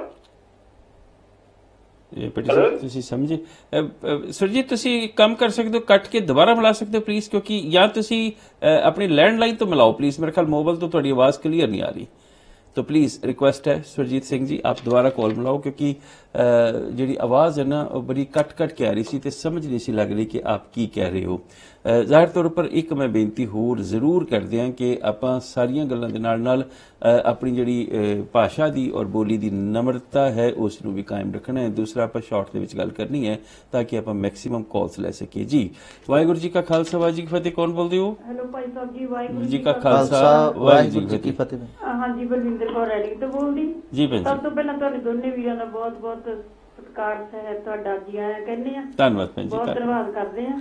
ਜੀ। ਹਾਂਜੀ ਜਿਹੜਾ ਵਿਸ਼ਾ ਤੁਸੀਂ ਲੈ ਕੇ ਆਏ ਦੇਖਿਓ ਨੂੰ ਵੀ ਬਹੁਤ ਦੁੱਖ ਲੱਗਦਾ। ਹੂੰ। ਜਿਸ ਤਰ੍ਹਾਂ ਆਪਾਂ ਗੱਲ ਕਰਦੇ ਨਾ ਜਿੱਦਾਂ ਮੇਰੇ ਖਿਆਲ ਇਹ ਅਹ, ਮਤਲਬ ਇਹ ਇਉਂ ਮੈਨੂੰ ਐ ਨਹੀਂ ਸਮਝ ਲੱਗਦੀ ਵੀ ਇਹਨਾਂ ਦੀ ਐਜੂਕੇਸ਼ਨ ਕੀ ਆ। ਹੂੰ। ਕੋਈ ਬੰਦਾ ਆਪਣੇ ਕਿਸੇ ਹੱਕ ਦੀ ਖਾਤਰ ਜਾਂ ਕੋਈ ਤੁਹਾਡੇ ਨਾਲ ਵਧੀਕੀ ਹੁੰਦੀ ਹੈ ਉਹਦਾ ਰੋਲ ਜਿਹੜਾ ਰੋਸ ਕਰਦੇ ਸ਼ਾਂਤਮਈ ਤਰੀਕੇ ਨਾਲ ਹੂੰ ਜੀ। ਇਜਾਜ਼ਤ ਲੈ ਕੇ। ਜੀ ਜੀ ਪਰ ਹੂੰ, ਮੈਂ ਕਹਿੰਦੀ ਇਹਨਾਂ ਦੀ ਸਿਵਲਾਈਜੇਸ਼ਨ ਕਿੱਥੇ ਗਈ ਹੋਈ ਆ ਤੇ ਇਹ ਜਿਹੜੇ ਆ ਉਹਦੇ ਉਲਟ ਮਤਲਬ ਵਿਰੋਧ ਤਾਂ ਜਦੋਂ ਕਰਦੇ ਨੇ ਕਾ- ਇਹਨਾਂ ਨੂੰ ਕੋਈ ਸਵਾਲ ਪੁੱਛਣੇ ਚਾਹੀਦੇ ਵੀ ਕਿਹੜੀ ਗੱਲ ਦਾ ਵਿਰੋਧ ਕਰਨਾ ਹੈ ਸੀ ਇਹਨਾਂ ਨੂੰ ਮੀਡੀਆ ਤੇ ਲੈ ਕੇ ਆਓ। ਐਗਜ਼ੈਕਟਲੀ ਜਿਹੜੇ ਸਿਆਣੇ ਬੰਦੇ ਆਪਣੇ ਪਾਰਲੀਮੈਂਟ ਵਿੱਚ ਸਿੱਖ ਵੀ ਹੈਗੇ ਆ ਜਾਂ ਜਿਹੜੇ ਪ੍ਰੋਟੈਸਟ ਕਰਨ ਗਏ ਸੀ ਔਰ ਇਹਨਾਂ ਦੇ ਹੂੰ। ਪਰ ਚਾਹੇ ਇੰਡੀਆ ਹਾਊਸ ਵਾਲੇ ਬੰਦੇ ਆ ਜਾਣ ਇਹਨਾਂ ਦੇ ਚਾਹੇ ਜਿਹੜੇ ਇਹਨਾਂ ਦੇ ਪਾਰਲੀਮੈਂਟਾਂ ਦੇ ਜਿਹੜੇ ਇੱਥੇ ਲੋਕਾਂ ਨੇ ਚੁਣੇ ਹੋਏ ਆ ਹੂੰ ਫਿਰ ਇਹਨਾਂ ਦੀ ਸਭਤਾ ਦਾ ਵੀ ਪਤਾ ਲੱਗ ਜਾਊਗਾ ਜੀ ਬਿਲਕੁਲ ਇਹ ਇਹਨਾਂ ਤੋਂ ਜਵਾਬ ਮੰਗੋ ਇਹ। ਕਿਉਂਕਿ ਨਾ ਇਹਦਾ ਹਮੇਸ਼ਾ ਵਾਸਤੇ ਨੂੰ ਇਹਦਾ ਆਪਾਂ ਨੂੰ ਹੱਲ ਲੱਭਣਾ ਚਾਹੀਦਾ ਵੀ ਇਹ ਕਿ ਇੱਕ ਸਿਰਫ ਜ਼ੋਰ ਜਬਰੀ ਵੀ ਸਾਡਾ ਉੱਥੇ ਰਾਜ ਹੈ ਜਦੋਂ ਇਹ ਪ੍ਰਵੋਕ ਇਹ ਵੀ ਕਰਦੇ ਆ ਨਾ। ਇੱਥੇ ਬੋਲਦੇ ਹੋ ਉੱਥੇ ਚੱਲੋ ਤੁਸੀਂ ਉੱਥੇ ਦੇਖਾਂਗੇ। ਅੱਛਾ ਇਹਨਾਂ ਨੂੰ ਨਾ ਇਹ ਮੀਡੀਆ ਤੇ ਲੈ ਕੇ ਉਹ ਭਾਵੇਂ ਬੀਬੀਸੀ ਤੇ ਦੂਜੇ ਮੀਡੀਆ ਤੇ ਲੈ ਕੇ ਆਓ ਲਿਆ ਕੇ ਚੰਗੀ ਤਰ੍ਹਾਂ ਇਹਨਾਂ ਦਾ ਪ੍ਰੈਸ ਕਾਨਫਰੰਸ ਕਰਕੇ ਇਹਨਾਂ ਦੇ ਬੰਦਿਆਂ ਨੂੰ ਲੈ ਕੇ ਆਓ। ਜੀ ਠੀਕ ਹੈ ਇੰਡੀਆ ਹਾਊਸ ਵਾਲਿਆਂ ਨੂੰ ਵੀ ਤੁਸੀਂ ਆਪਣੇ ਬੰਦੇ ਜਿਹੜੇ ਆ ਨਾ ਇਹ ਆਉਂਦੇ ਆ। ਚਾਹੇ ਏਜੰਸੀਆਂ ਨੇ। ਵੀ ਉਹ ਮੀਡੀਆ ਦੇ ਸਾਹਮਣੇ ਆ ਕੇ ਬਿਠਾਓ ਇਹਨਾਂ ਨੂੰ ਜੀ ਠੀਕ ਹੈ ਇਹਨਾਂ ਬਿਲ- ਨੂੰ ਗੱਲਾਂ ਦੇ ਸਵਾਲ ਪੁੱਛੋ ਬਿਲਕੁਲ ਠੀਕ ਮੈਂ ਐਕਚੁਅਲੀ ਕੋਸ਼ਿਸ਼ ਕੀਤੀ ਵੀ ਸੀ ਭੈਣ ਜੀ ਕਿਉਂਕਿ ਪੱਟੀ ਸਾਹਿਬ ਨੇ ਮੈਨੂੰ ਹੁਕਮ ਕੀਤਾ ਸੀਗਾ ਕਿ ਕਿਉਂਕਿ ਗੁਰਸਿੱਖ ਤਾਂ ਨੂੰ ਤਿਆਰ ਸਨ ਜਿਹੜੇ ਉੱਥੇ ਸਫਾਰਤਖਾਨੇ ਦੇ ਸਾਹਮਣੇ। ਸਨ ਉਹਨਾਂ ਨੂੰ ਕੋਈ ਲੇਕਿਨ ਸਾਨੂੰ ਉਹਨਾਂ ਦੇ ਵਿੱਚੋਂ ਕੋਈ ਬੰਦਾ ਨਹੀਂ ਲੱਭਿਆ ਕਿਉਂਕਿ ਮੇਰਾ ਅਗਲਾ ਸਵਾਲ ਪੱਟੀ ਸਾਹਿਬ ਨੂੰ ਇਹੀ ਹੋਏਗਾ ਵੀ ਜੇ ਇਹ ਏਜੰਸੀਆਂ ਦਾ ਕੰਮ ਸੀ ਤਾਂ ਏਜੰਸੀਆਂ ਤਾਂ ਜਿੰਨੇ ਮਰਜ਼ੀ ਬੰਦੇ ਹਾਰ ਕਰਦੇ ਫਿਰ ਵੀ ਉਹ ਮੇਰੇ ਖਿਆਲ ਪੂਰੀ ਟੋਟਲ ਗਿਣਤੀ ਦੇ ਵਿੱਚ ਸ਼ਾਇਦ 12 ਤੋਂ ਜ਼ਿਆਦਾ ਬੰਦੇ ਨਹੀਂ ਸਨ 12 ਤੋਂ ਹਾਂਜੀ ਜ਼ਿਆਦਾ। ਦਸ ਜਦੋਂ ਨਾ 2020 ਦਸ ਦਾ ਵਾਰ। ਪਿਛਲੇ ਸਾਲ ਸੀ ਆਪਣੇ ਜੀ, ਜੀ। ਰੈਫਰੈਂਡਮ ਦਾ ਲੰਡਨ ਚ ਸੀ ਉਦੋਂ ਵੀ ਉਹ ਇਹ ਇਦਾਂ ਹੀ ਕਰਦੇ ਸੀ ਹਾਂਜੀ ਥੋੜੇ ਫਿਰ ਬੰਦੇ ਫਿਰ ਨਹੀਂ ਮੈਂ ਤੇ ਕਹਿਣ ਦਾ ਮਤਲਬ ਤੁਸੀਂ ਇੰਡੀਆ ਹਾਊਸ ਨੂੰ ਭੇਜੋ ਨਾ ਹਾਂਜੀ ਬਿਲਕੁਲ ਉਹਨਾਂ ਤੋਂ ਮੰਗੋ ਵੀ ਆਪ ਦੇ ਬੰਦੇ ਜਿਹੜੇ ਵੀ ਤੁਹਾਡੇ ਆ ਸਾਨੂੰ ਨਹੀਂ ਪਤਾ ਕੌਣ ਤੁਹਾਡੇ ਭੇਜੇ ਹੋਏ ਆ ਬਿਲਕੁਲ। ਬਈ ਸਾਨੂੰ ਪ੍ਰੈਸ ਕਾਨਫਰੰਸ ਮੀਡੀਆ ਦੇ ਉੱਤੇ ਬੰਦੇ ਭੇਜੋ ਫਿਰ ਜ਼ਰੂਰੀ ਨਹੀਂ ਹੈ ਕਿ 2020 ਨਾਲ ਹਰ ਸਿੱਖ ਸਹਿਮਤ ਹੈ ਜਾਂ ਨਹੀਂ ਸਹਿਮਤ ਮੈਂ ਇਹ ਵਿਸ਼ਾ ਨਹੀਂ ਛੇੜਦਾ ਪਰ। ਗੱਲ ਇਹ ਹੈ ਕਿ ਜਦੋਂ ਉਹਨੇ ਦਸਤਾਰ ਬਣਾਤੀ ਤੇ ਪੱਟੀ ਸਾਹਿਬ ਨੇ ਕਿਹਾ ਫਿਰ ਜ਼ਬਰਦਸਤੀ ਹਰ ਸਿੱਖ ਨੂੰ ਵੀ ਉਹਦੇ ਚ ਅਹ, ਨਹੀਂ 2020 ਨਹੀਂ ਉਹ ਸ਼ਾਮਿਲ ਸਾਡਾ ਹੱਕ ਹੈਗਾ ਆਜ਼ਾਦੀ ਮੰਗਣ ਦਾ ਹਰੇਕ ਦਾ ਹੱਕ ਹੈਗਾ ਨਹੀਂ, ਹੱਕ ਹੈ। ਇਹੀ ਗੱਲਾਂ ਫਿਰ ਜਦੋਂ ਹੋਣਗੀਆਂ ਨਾ ਮੀਡੀਆ ਤੇ ਬੈਠ ਕੇ ਪੈਨਲ ਬੈਠੂ ਇਹ ਸਾਰੀਆਂ ਗੱਲਾਂ ਹੋਣਗੀਆਂ ਉਦੋਂ ਪਰ ਉਹ। ਦਸਤਾਰ ਦੀ ਫੋਟੋ- ਭਾਈ ਸਾਹਿਬ ਜ਼ਰੂਰ ਕਹਿੰਦੀ ਆ ਜਦੋਂ ਆਪਾਂ ਵੀ ਕਹਿੰਦੇ ਆ ਨਾ ਹਰ ਵਾਰ ਆਪਾਂ ਕਮ ਸੇ ਕਮ ਹਿੰਦੁਸਤਾਨ ਨਾ ਕਹੀਏ ਜੀ ਜੀ। ਬਟ ਐਵਰ ਜੋ ਇਹ ਇਹਨਾਂ ਦਾ ਹਿੰਦੁਸਤਾਨ ਹੈ ਬਟ ਐਵਰ ਆਪਾਂ ਕਮ ਸੇ ਕਮ ਨਾ ਕਹੀਏ ਇਹ ਚੀਜ਼। ਸਾਨੂੰ ਫਿਰ ਕੀ ਵਰਡ ਯੂਜ਼ ਕਰਨਾ ਚਾਹੀਦਾ? ਹੈ ਭਾਰਤ ਜਿਹੜਾ ਵੀ ਸੀਗਾ ਸੰਵਿਧਾਨ ਦੇ ਵਿੱਚ ਜਦੋਂ ਹਿੰਦੁਸਤਾਨ ਹੈ ਨਹੀਂ ਵਰਡ ਹਾਂ ਸੰਵਿ-। ਸੰਵਿਧਾਨ ਦੇ ਵਿੱਚ ਤਾਂ ਇੱਕ ਜਗ੍ਹਾ ਵੀ ਹਿੰਦੁਸਤਾਨ ਨਹੀਂ ਵਰਤਿਆ ਪਰ ਸਾਡੀ ਗੁਰਬਾਣੀ ਚ ਵਰਤਿਆ ਨੇ ਖੁਰਾਸਾਨ ਖਸਮਾਨਾ ਕੀਆ ਹਿੰਦੁਸਤਾਨ ਵੀ ਵਿਚਾਰ ਚਲੋ ਫੇਰ ਕਦੇ ਲੰਮਾ ਠੀਕ। ਟਾਈਮ ਲੈ ਕੇ ਉਹਦੀ ਵੀ ਕਰਿਓ ਨਾ ਠੀਕ ਹੈ ਪਰ ਜੀ। ਕਹਿਣ ਦਾ ਮਤਲਬ ਵੀ ਜੇ ਹਿੰਦੁਸਤਾਨ ਕਹਿ ਸਕਦੇ ਫਿਰ ਅਸੀਂ ਵੀ ਆਪਦੇ ਦੇਸ਼ ਦਾ ਨਾਂ ਕਹਿ ਸਕਦੇ ਹਾਂ ਸਾਡਾ ਹਾਂ। ਤਾਂ ਰਾਜ ਰਿਹਾ ਵਾ ਹਾਂ, ਇਹ ਹਾਂ। ਸਾਰੇ ਪੈਨਲ ਬਿਠਾ ਕੇ ਇਹ ਸਾਰੀਆਂ ਗੱਲਾਂ ਪਿਛਲੇ ਪਿਛੋਕੜ ਹੁਣ ਉਹ ਜੇ ਤੁਸੀਂ ਦੂਸਰੀ ਫੁਟੇਜ ਦੇਖੀ ਉਹਦੇ ਵਿੱਚ ਜੈ ਹਿੰਦ ਬੋਲ ਰਹੇ ਨੇ ਜੈ ਹਾਂਜੀ ਹਿੰਦ ਉਹੀ ਮੈਂ ਤੁਹਾਨੂੰ ਕਹਿੰਦੀ ਕਦੇ ਬੰਦੇ ਮਾਤਰਮ ਜੈ ਹਿੰਦ ਜੋ ਵੀ ਇਹ ਕਹਿੰਦੇ ਵੀ ਜਿਹੜਾ ਅਸੀਂ ਕਹਿੰਦੇ ਤੁਸੀਂ ਉਹੀ ਕਹੋ ਹੂੰ ਵੀ ਠੀਕ। ਤੁਹਾਡੀ ਆਪਦੀ ਆਇਡੈਂਟੀਟੀ ਕੋਈ ਇਹ ਗੱਲਾਂ ਸਾਬਤ ਕਰੋ ਮੀਡੀਆ ਤੇ ਆ ਕੇ ਝੂਠੇ ਕਰੋ ਇਹਨਾਂ ਨੂੰ। ਠੀਕ ਹੈ ਠੀਕ ਇਹਨਾਂ ਹੈ। ਨੂੰ ਜੇ ਨਹੀਂ ਆਉਂਦੇ ਕਿਵੇਂ ਫਿਰ ਇੰਡੀਆ ਹਾਊਸ ਨੂੰ ਪੁੱਛੋ ਕਿ ਤੁਸੀਂ ਜਵਾਬ ਦਿਓ ਇਹਦਾ। ਹੂੰ ਠੀਕ ਹੈ ਭੈਣ ਜੀ। ਬਹੁਤ ਅੱਛਾ ਲੱਗਾ ਤੁਹਾਡੇ ਨਾਲ ਗੱਲ ਕਰਕੇ ਬਲਵਿੰਦਰ ਕੌਰ ਭੈਣ ਜੀ ਦਾ ਪੁਆਇੰਟ ਤਾਂ ਬੜਾ ਵੈਲਿਡ ਹੈ ਨਾ ਯਾਨੀ ਕਿ ਜਿਹੜੀ ਗੱਲ ਮੈਂ ਸ਼ੁਰੂ ਦੇ ਵਿੱਚ ਕਹੀ ਸੀ ਜੇ ਇਹ ਜੈ ਹਿੰਦ ਕਹਿੰਦੇ ਨੇ ਤੇ ਫਿਰ ਸਾਨੂੰ ਮਤਲਬ ਜੈ ਖਾਲਸਾ ਕਹਿਣ ਤੋਂ ਜਾਂ ਅਸੀਂ ਵੀ ਤਾਂ ਫਿਰ ਕਹਿ ਹੀ ਸਕਦੇ ਆ ਨਾ ਆਪਣਾ। ਤੇ ਮਤਲਬ ਫਿਰ ਮਤਲਬ ਇੱਕ ਪਾਸੇ ਤੁਸੀਂ ਆਪਣੀ ਗੱਲ ਕਰਦੇ ਹੋ ਇੱਕ ਪਾਸੇ ਤੁਸੀਂ ਸਾਨੂੰ ਕੱਟਰ ਯਾਨੀ ਕਿ ਸਿੱਖਾਂ ਨੂੰ ਕਈਆਂ ਨੂੰ ਕੱਟਰਵਾਦ ਸੱਦਦੇ ਹੋ ਤੇ ਫਿਰ ਇਹ ਤੇ ਗੱਲ ਕੁਝ ਸ਼ੋਭਦੀ ਨਹੀਂ ਨਾ ਤਾਂ ਬੇਟੇ ਸਾਹਿਬ ਮੇਰਾ ਅਗਲਾ ਕੁਐਸਚਨ ਸੀਗਾ ਕਿ ਇਸੇ ਮੱਦੇ ਨਜ਼ਰ ਕਿ ਬਜਰੰਗੀ ਦਾ ਰਿਹਾ ਹੋਣਾ ਤੁਸੀਂ ਇਹਦੇ ਬਾਰੇ ਕੀ ਸੋਚਦੇ ਮੈਂ ਉਹੀ ਸੋਚ ਰਿਹਾ ਸੀਗਾ ਕਿ ਜਨਰਲ ਵੈਦਿਆ ਦੇ ਜਿਹੜੇ ਸੀਗੇ ਜਿਨ੍ਹਾਂ ਵੀਰਾਂ ਨੇ ਉਹਨੂੰ ਸੋਧਿਆ ਸੀਗਾ ਵੀਰ ਹਰਜਿੰਦਰ ਸਿੰਘ ਜਿੰਦਾ। ਭਾਈ ਸੁਖਦੇਵ ਸਿੰਘ ਸੁੱਖਾ ਜੀ ਜੀ। ਉਹਨੂੰ ਵੀ ਫਾਂਸੀ ਦੀ ਸਜ਼ਾ। ਜੀ ਜੀ। ਇੰਦਰਾ ਗਾਂਧੀ ਨੂੰ ਜਿਨ੍ਹਾਂ ਨੇ ਮਾਰਿਆ ਸੀ ਭਾਈ ਸਤਵੰਤ ਸਿੰਘ ਭਾਈ ਕੇਰ ਸਿੰਘ ਉਹਨਾਂ ਨੂੰ ਵੀ ਫਾਂਸੀ ਦੀ ਸਜ਼ਾ। ਔਰ 25000 ਲਾਸ਼ਾਂ ਦਾ ਮੁੱਦਾ ਚੁੱਕਣ ਵਾਲੇ ਵੀਰ ਸ਼ਹੀਦ ਜਸਵੰਤ ਸਿੰਘ ਖਾਲੜਾ ਲਾਸ਼ਾਂ ਲੱਭਦੇ ਲੱਭਦੇ 25000 ਆਪਣੀ ਲਾਸ਼ ਵੀ ਗਵਾ ਬੈਠੇ। ਬਿਲਕੁਲ। ਸੋ ਉਹਦੇ ਨਾਲ ਮੈਨੂੰ ਫਿਰ ਯਾਦ ਆ ਗਿਆ ਉਹ ਕਿਸ਼ੋਰੀ ਲਾਲ ਇੱਕ ਹੋਇਆ। ਹਾਂਜੀ ਉਹਨੂੰ ਵੀ ਇਹਨਾਂ ਪੜ ਨੇ ਰਿਹਾ ਸੀਗਾ ਕਿ ਹਾਂਜੀ ਪਹਿਲਾਂ ਜਿਹੜਾ ਮੀਟ ਵੱਢਣ ਵਾਲਾ ਦਾਤਰ ਬਹੁਤ ਤਿੱਖਾ ਹੁੰਦਾ। ਹਨਾ? ਉਹਦੇ ਨਾਲ ਉਹਨੇ 84 ਦੇ ਵਿੱਚ ਸਿੱਖਾਂ ਨੂੰ ਵੱਢਿਆ ਉਸ ਦਾਤਰ ਦੇ ਨਾਲ। ਉਹ ਉਹ ਬਾਹਰ ਤੁਰਿਆ ਫਿਰਦੇ ਹਾਂ ਸਰਿਆਮ ਉਹਨੇ ਕਿਹਾ ਕਿ ਮੈਂ ਕਤਲ ਕੀਤਾ ਸੀ ਮੈਂ ਕਤਲ ਕੀਤਾ। ਇੱਥੇ ਆਪਾਂ ਗੱਲ ਜਾਰੀ ਕਰਾਂਗੇ ਇੱਕ ਫੋਨ ਲੈ ਲੈਣੇ ਜੀ ਵਾਹਿਗੁਰੂ ਜੀ ਕਾ ਖਾਲਸਾ ਵਿੱਚ ਫਤਿਹ ਕੌਣ ਬੋਲਦੇ ਹੋ? ਹਾਂਜੀ ਸਤਿ ਸ਼੍ਰੀ ਅਕਾਲ ਜੀ। ਮੇਰਾ ਨਾਮ ਰਣਜੀਤ ਸਿੰਘ ਰੰਧਾਵਾ ਹੈ। ਜੀ ਰੰਧਾਵਾ ਸਾਹਿਬ ਕੀ ਕਹਿਣਾ ਚਾਹੋਗੇ? ਹਾਂਜੀ ਸਿਰਫ ਇੱਕ ਗੱਲ ਨੋਟ ਕਰਾਉਣੀ ਸੀ ਕਿ ਤੁਹਾਡੇ ਨਾਲ ਜੋ ਸਰਦਾਰ ਪੱਟੀ ਸਾਹਿਬ ਬੈਠੇ ਆ। ਉਹ ਕਹਿ ਰਹੇ ਸੀ ਕਿ ਨਾ ਕਿ ਫਾਂਸੀ ਦੀ ਸਜ਼ਾ। ਹਾਂਜੀ ਉਮਰ ਕੈਦ ਹੋ ਹਾਂਜੀ। ਉਮਰ ਕੈਦ ਮਤਲਬ ਕਿਉਂਕਿ ਪ੍ਰੋਗਰਾਮ ਬਹੁਤ ਇੰਪੋਰਟੈਂਟ ਆ। ਹਾਂਜੀ, ਤੋ ਬਿਲਕੁਲ। ਦੀ ਗਲਤੀ ਨੂੰ ਮਤਲਬ ਕਿ ਉਸੇ ਟਾਈਮ। ਦੇਖ ਲਿਆ ਕਰੋ। ਮੈਂ ਕਿਉਂਕਿ ਕਰ- ਅਗਲਿਆਂ ਨੇ ਤੇ ਨਾ ਜਾਂ ਕਿ ਇਸ ਚੀਜ਼। ਨੂੰ ਦੇਖ ਰਹੇ ਆ ਉਹ ਹਾਂਜੀ ਰੰਧਾਵਾ ਸਾਹਿਬ ਤੁਸੀਂ ਠੀਕ ਹੋ? ਅਸੀਂ ਰੈਕਟੀਫਾਈ ਕਰਤਾ ਸੀ ਸਰ। ਜੇ ਤੁਸੀਂ ਸੁਣਿਆ ਹੋਵੇ ਮੈਂ ਕਹਿਤਾ ਸੀਗਾ ਕਿ ਉਹ ਫਾਂਸੀ ਨਹੀਂ ਉਮਰ ਕੈਦ ਹੋਈ ਹੈ। ਜਿਸ ਵਕਤ ਪੱਟੀ ਸਾਹਿਬ ਬੋਲ ਰਹੇ ਸੀ ਮੈਂ ਉਸ ਵਕਤ ਵੀ ਉਮਰ ਕੈਦ ਬੋਲਿਆ ਸੀਗਾ ਪਰ ਉਹ ਹਾਂਜੀ ਤੁਹਾਨੂੰ ਪਤਾ ਕਿ ਦੇ ਨਾਲ ਜਾਂ ਕੋਈ ਛੋਟੀ ਛੋਟੀ। ਗੱਲ ਨੂੰ ਉਹਨਾਂ ਬਿਲਕੁਲ। ਪੜ ਕੇ ਤੇ ਵੱਡੀ ਪੜਾਉਣਾ ਬਿਲਕੁਲ ਬਿਲਕੁਲ ਬਿਲਕੁਲ ਬਸ ਬਿਲਕੁਲ। ਜੀ ਇਹ ਗੱਲ ਕਰੀ। Thank you Randhawa sir thank you Ranjit Singh ji. Thank you ਜੀ। ਬਿਲਕੁਲ ਬਿਲਕੁਲ ਰਣਜੀਤ ਸਿੰਘ ਜੀ। ਬਿਲਕੁਲ ਠੀਕ ਹੋ ਤੁਸੀਂ।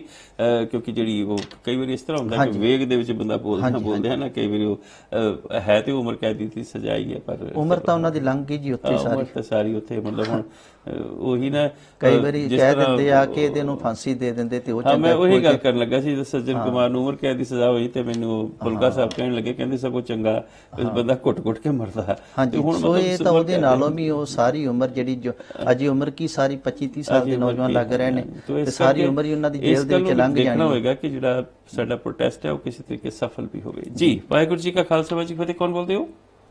ਹਾਂਜੀ ਵਾਹਿਗੁਰੂ ਖਾਲਸਾ ਵਾਹਿਗੁਰੂ ਜੀ ਫਤਿਹ ਜੀ। ਜੀ। ਵਾਹਿਗੁਰੂ ਜੀ ਕੀ ਫਤਿਹ।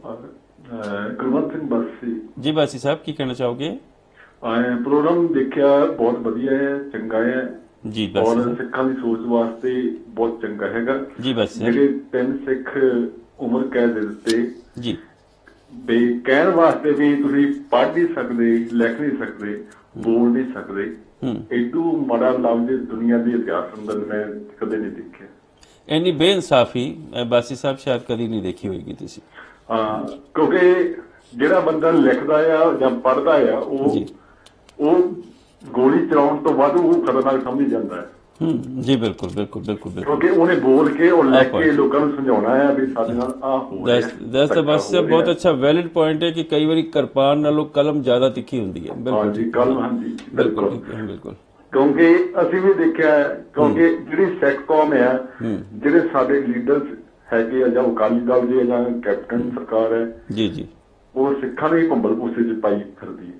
ਦੋਨੋਂ ਦੋਨੋਂ ਭੰਬਲ ਪੁੱਛੇ ਪਾਈ ਫਿਰਦੇ ਨੇ ਭਾਵੇਂ ਦੂਜੀ ਨੇ ਤੇ ਭਾਵੇਂ ਇਹ ਨੇ। ਕਿਉਂਕਿ ਜਿਹੜੇ ਸਿੱਖ ਨੌਜਵਾਨ ਖਾੜਕੂ ਸ਼ਹੀਦ ਹੋ ਗਏ ਜੀ ਜੀ ਜੀ। ਉਹਨਾਂ ਦੇ ਪਰਿਵਾਰ ਉਹਨਾਂ ਦੀਆਂ ਉਹਨਾਂ ਦੀਆਂ ਪੀੜ੍ਹੀਆਂ ਉਹ ਅੱਜ ਤੱਕ ਕਿਸੇ ਨੇ ਸ਼ਾਇਦ ਖਬਰ ਨਹੀਂ ਲਈ। ਬਿਲਕੁਲ। ਕਿਉਂਕਿ ਆਮ ਪਿੰਡਾਂ ਦੇ ਵਿੱਚ ਅਸੀਂ ਲੋਕਲ ਜਾਣਦੇ ਜੀ।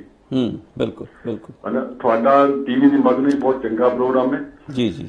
ਤੇ ਸਾਨੂੰ ਇੱਕ ਸੋਚ ਬਣਾਉਣੀ ਚਾਹੀਦੀ ਹੈ ਸਾਨੂੰ ਆਪਣੀਆਂ ਲੜਾਈਆਂ ਛੱਡ ਕੇ ਧੜੇ ਬੰਦੀਆਂ ਜਥੇਬੰਦੀਆਂ ਛੱਡ ਕੇ ਹੂੰ। ਸ੍ਰੀ ਅਕਾਲ ਤਖਤ ਸਾਹਿਬ ਥੱਲੇ ਝੰਡੇ ਥੱਲੇ ਆਉਣਾ ਚਾਹੀਦਾ ਹੈ। ਬਿਲਕੁਲ ਬਿਲਕੁਲ ਬਾਸੀ ਸਾਹਿਬ ਠੀਕ ਆਖਿਆ ਤੁਸੀਂ ਹਾਂ ਜੀ ਠੀਕ ਨਹੀਂ ਮੈਂ ਬਾਹਰੀ ਗੱਲ ਨਹੀਂ ਕਹਿੰਦਾ ਕਿਉਂਕਿ ਅਸੀਂ ਲੋਕਲ ਵਰਕਰ ਹੈਗੇ ਆ ਸਧਾਰਨ ਕੰਮਾਂ ਵਾਲੇ ਸਾਡੇ ਕੰਮਾਂ ਤੇ ਗੱਲਾਂ ਚੱਲਦੀਆਂ ਰਹਿੰਦੀਆਂ। ਜੀ ਜੀ ਜੀ ਜੀ ਜੀ ਠੀਕ ਹੈ ਬਾਸੀ ਸਾਹਿਬ। ਜਾਂ ਇੰਡੀਆ ਜਾਂ ਪਾਕਿਸਤਾਨ ਦੀਆਂ ਉਸ ਸਾਡੇ ਨਾਲ ਪਾਕਿਸਤਾਨ ਦੀ ਹੈ ਉਹ ਕਹਿੰਦੇ ਭਰਾਵੋ ਅਸੀਂ ਤਾਂ ਕੁਛ ਨਹੀਂ ਕਹਿੰਦੇ। ਹੂੰ ਹੂੰ ਹੂੰ ਹੂੰ। ਹਨਾ? ਕਰਤਾਰਪੁਰ ਸਾਹਿਬ ਦਾ ਲੰਘੇ ਨੂੰ ਲੈ ਕੇ ਵੀ ਤਿਆਰ ਬੈਠੇ। ਜੀ। ਉਹਦੇ ਬਾਰੇ ਅੱਜ ਸਮੇਂ ਦੀ ਹਕੂਮਤ ਜਿਹੜੀ ਆ ਜਿਹੜੇ ਤਾਂ ਮੋਦੀ ਸਰਕਾਰ ਹੈ ਤਾਂ ਗਾਂਧੀ ਪਰਿਵਾਰ ਗਾਂਧੀ ਪਰਿਵਾਰ ਨੇ ਤਾਂ ਜੋ ਕਰਨਾ ਹੈ ਸਿੱਖਾਂ ਕਰ ਲਿਆ। ਹੂੰ ਹੂੰ। ਜੀ ਜੀ।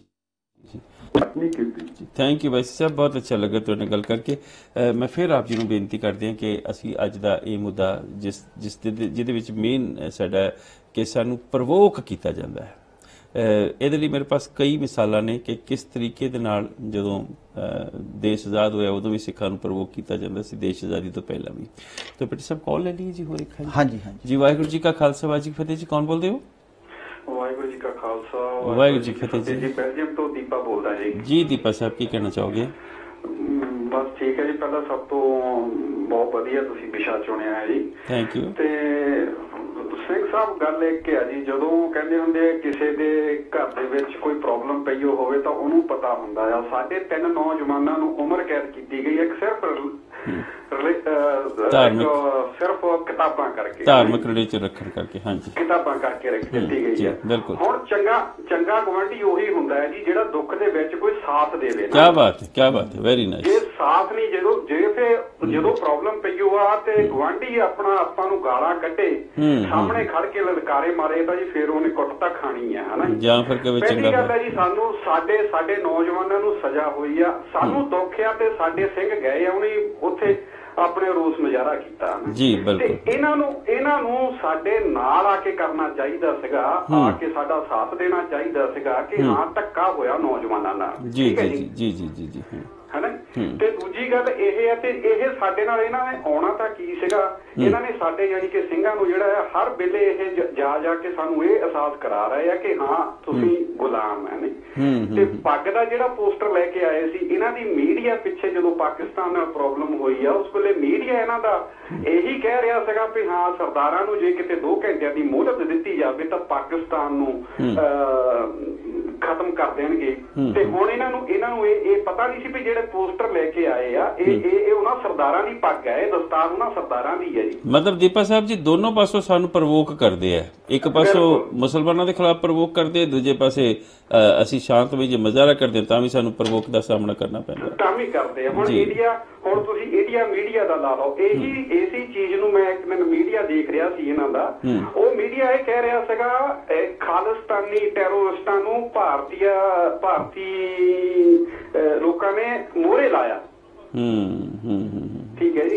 ਤੇ। ਕਿੰਨਾ ਜਾਨੀ ਕਿ ਉਹ ਕੂੜ ਪ੍ਰਚਾਰ ਕਰ ਰਹੇ ਆ ਤੇ ਉਹ ਇਹਨਾਂ ਨੂੰ ਜਾਨੀ ਕਿ ਸਿਰਫ ਪੰਜਾਂ ਦਸਾਂ ਜਾਣਿਆਂ ਨੂੰ ਦਿਖਾ ਰਹੇ ਆ ਕਿ ਖਾਲਿਸਤਾਨੀ। ਟੈਰੋਰਿਸਟ ਸਾਨੂੰ ਕਹਿ ਰਹੇ ਆ ਜੀ। ਬਿਲਕੁਲ ਬਿਲਕੁਲ। ਕਦੀ ਵੱਖਵਾਦੀ ਕਹਿੰਦੇ ਨੇ ਕਦੀ ਟੈਰਰਿਸਟ ਕਹਿੰਦੇ ਨੇ ਕਦੀ ਕੁਝ ਕਹਿੰਦੇ ਨੇ ਕਦੀ ਕੁਝ ਦੇਖੋ ਸਾਨੂੰ ਦੁੱਖ ਹੈ ਜੀ। ਸਾਡੇ ਨੌਜਵਾਨਾਂ ਨੂੰ ਇੱਕ ਸਿਰਫ ਇੱਕ ਰਿਲੇਟਡ ਕਿਤਾਬਾਂ ਰੱਖਣ ਕਰਕੇ ਤਸਵੀਰਾਂ ਰੱਖਣ ਕਰਕੇ ਉਮਰ ਕੈਦ ਆ ਤਾਂ ਵੰਡ ਦਾ ਜਾਨੀ ਕਿ ਪਹਿਲੀ ਗੱਲ ਵਰਲਡ ਦੇ ਵਿੱਚ ਪਹਿਲੀ ਵਾਰੀ ਦੇਖਿਆ ਕਿ ਉਮਰ ਕੈਦ ਸਿਰਫ ਇੱਕ ਕਿਤਾਬਾਂ ਰੱਖਣ ਲਈ।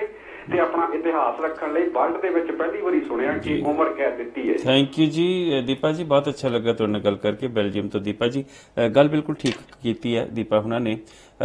ਮੈਂ ਫਿਰ ਬੇਨਤੀ ਕਰਾਂਗਾ ਜੀ ਕਿ ਆਪਾਂ ਸ਼ਾਰਟ 'ਚ ਗੱਲ ਕਰੀਏ ਤਾਂ ਆਪਾਂ ਜ਼ਿਆਦਾ ਕਾਲਸ ਲੈ ਸਕਦੇ ਹਾਂ। ਤਾਂ ਪਟੀ ਸਾਹਿਬ ਜ਼ਾਹਿਰ ਤੌਰ ਉੱਪਰ ਬਜਰੰਗੀ ਦਾ ਫਿਰ ਜਿਹੜਾ ਤੁਸੀਂ ਉਹ ਗੱਲ ਸਾਨੂੰ ਦੱਸ ਰਹੇ ਸੀਗੇ ਉਹ ਸ਼ਾਰਟ ਦੇ ਵਿੱਚ ਕਰਿਓ ਤਾਂ ਕਿ ਆਪਾਂ ਅਗਲੀ ਕਾਲ ਲੈ ਸਕੀਏ। ਹਾਂਜੀ ਮੈਂ ਆਪਾਂ ਗੱਲ ਕਰ ਰਹੇ ਸੀ ਕਿ ਇਹ ਜੋ ਮਰਜ਼ੀ ਕਰਨ ਹੂੰ।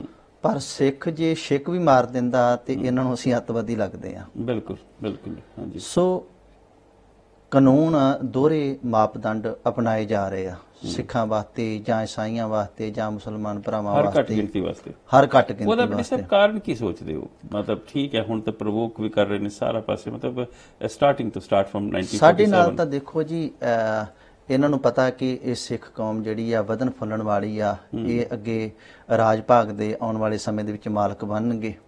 ਸੋ ਇਹਨਾਂ ਨੂੰ ਅਸੀਂ ਹਜਮ ਨਹੀਂ ਹੋ ਰਹੇ। ਸਾਡਾ ਧਾਰਮਿਕ ਪੱਖੋਂ ਵੀ ਹਜਮ ਨਹੀਂ ਹੋ ਰਿਹਾ। ਧਾਰਮਿਕ ਪੱਖੋਂ ਵੀ ਪੋਲੀਟੀਕਲ ਪੱਖੋਂ ਵੀ। ਕਿਉਂਕਿ ਧਰਮ ਦੇ ਵਿੱਚ ਵੀ ਅਸੀਂ ਸਤਿਗੁਰੂ ਨਾਨਕ ਨੇ ਸਾਡੀ ਜਿਹੜੀ ਗੱਲ ਕੌਮ ਕੀਤੀ ਜਿਹੜੀ ਹੈ। ਆ ਉਹ ਅੱਗੇ ਵਧਣ ਵਾਲੀ ਆ ਅਮਰੀਕਾ ਦੇ ਵਿੱਚ ਕੈਨੇਡਾ ਦੇ ਵਿੱਚ ਸਿੱਖਾਂ ਨੇ ਬਹੁਤ ਵੱਡਾ ਵੱਡੀਆਂ ਬੱਲਾਂ ਮਾਰੀਆਂ ਆ। ਇੱਥੇ ਵੀ ਜੇ ਅਸੀਂ ਲਾ ਲਈਏ ਤੇ ਸਿੱਖ ਜਥੇਬੰਦ ਨੇ ਕਮਿਟਡ ਨੇ ਆਉਣ ਵਾਲੇ ਸਮੇਂ ਦੇ ਵਿੱਚ ਸਾਡੇ ਨੌਜਵਾਨ ਵੀਰ ਐਮਪੀ ਬਣਨਗੇ ਚੰਗੇ ਚੰਗੇ ਅਹੁਦਿਆਂ ਤੇ ਜਾਣਗੇ ਹੁਣ ਵੀ ਜਾ ਰਹੇ ਆ।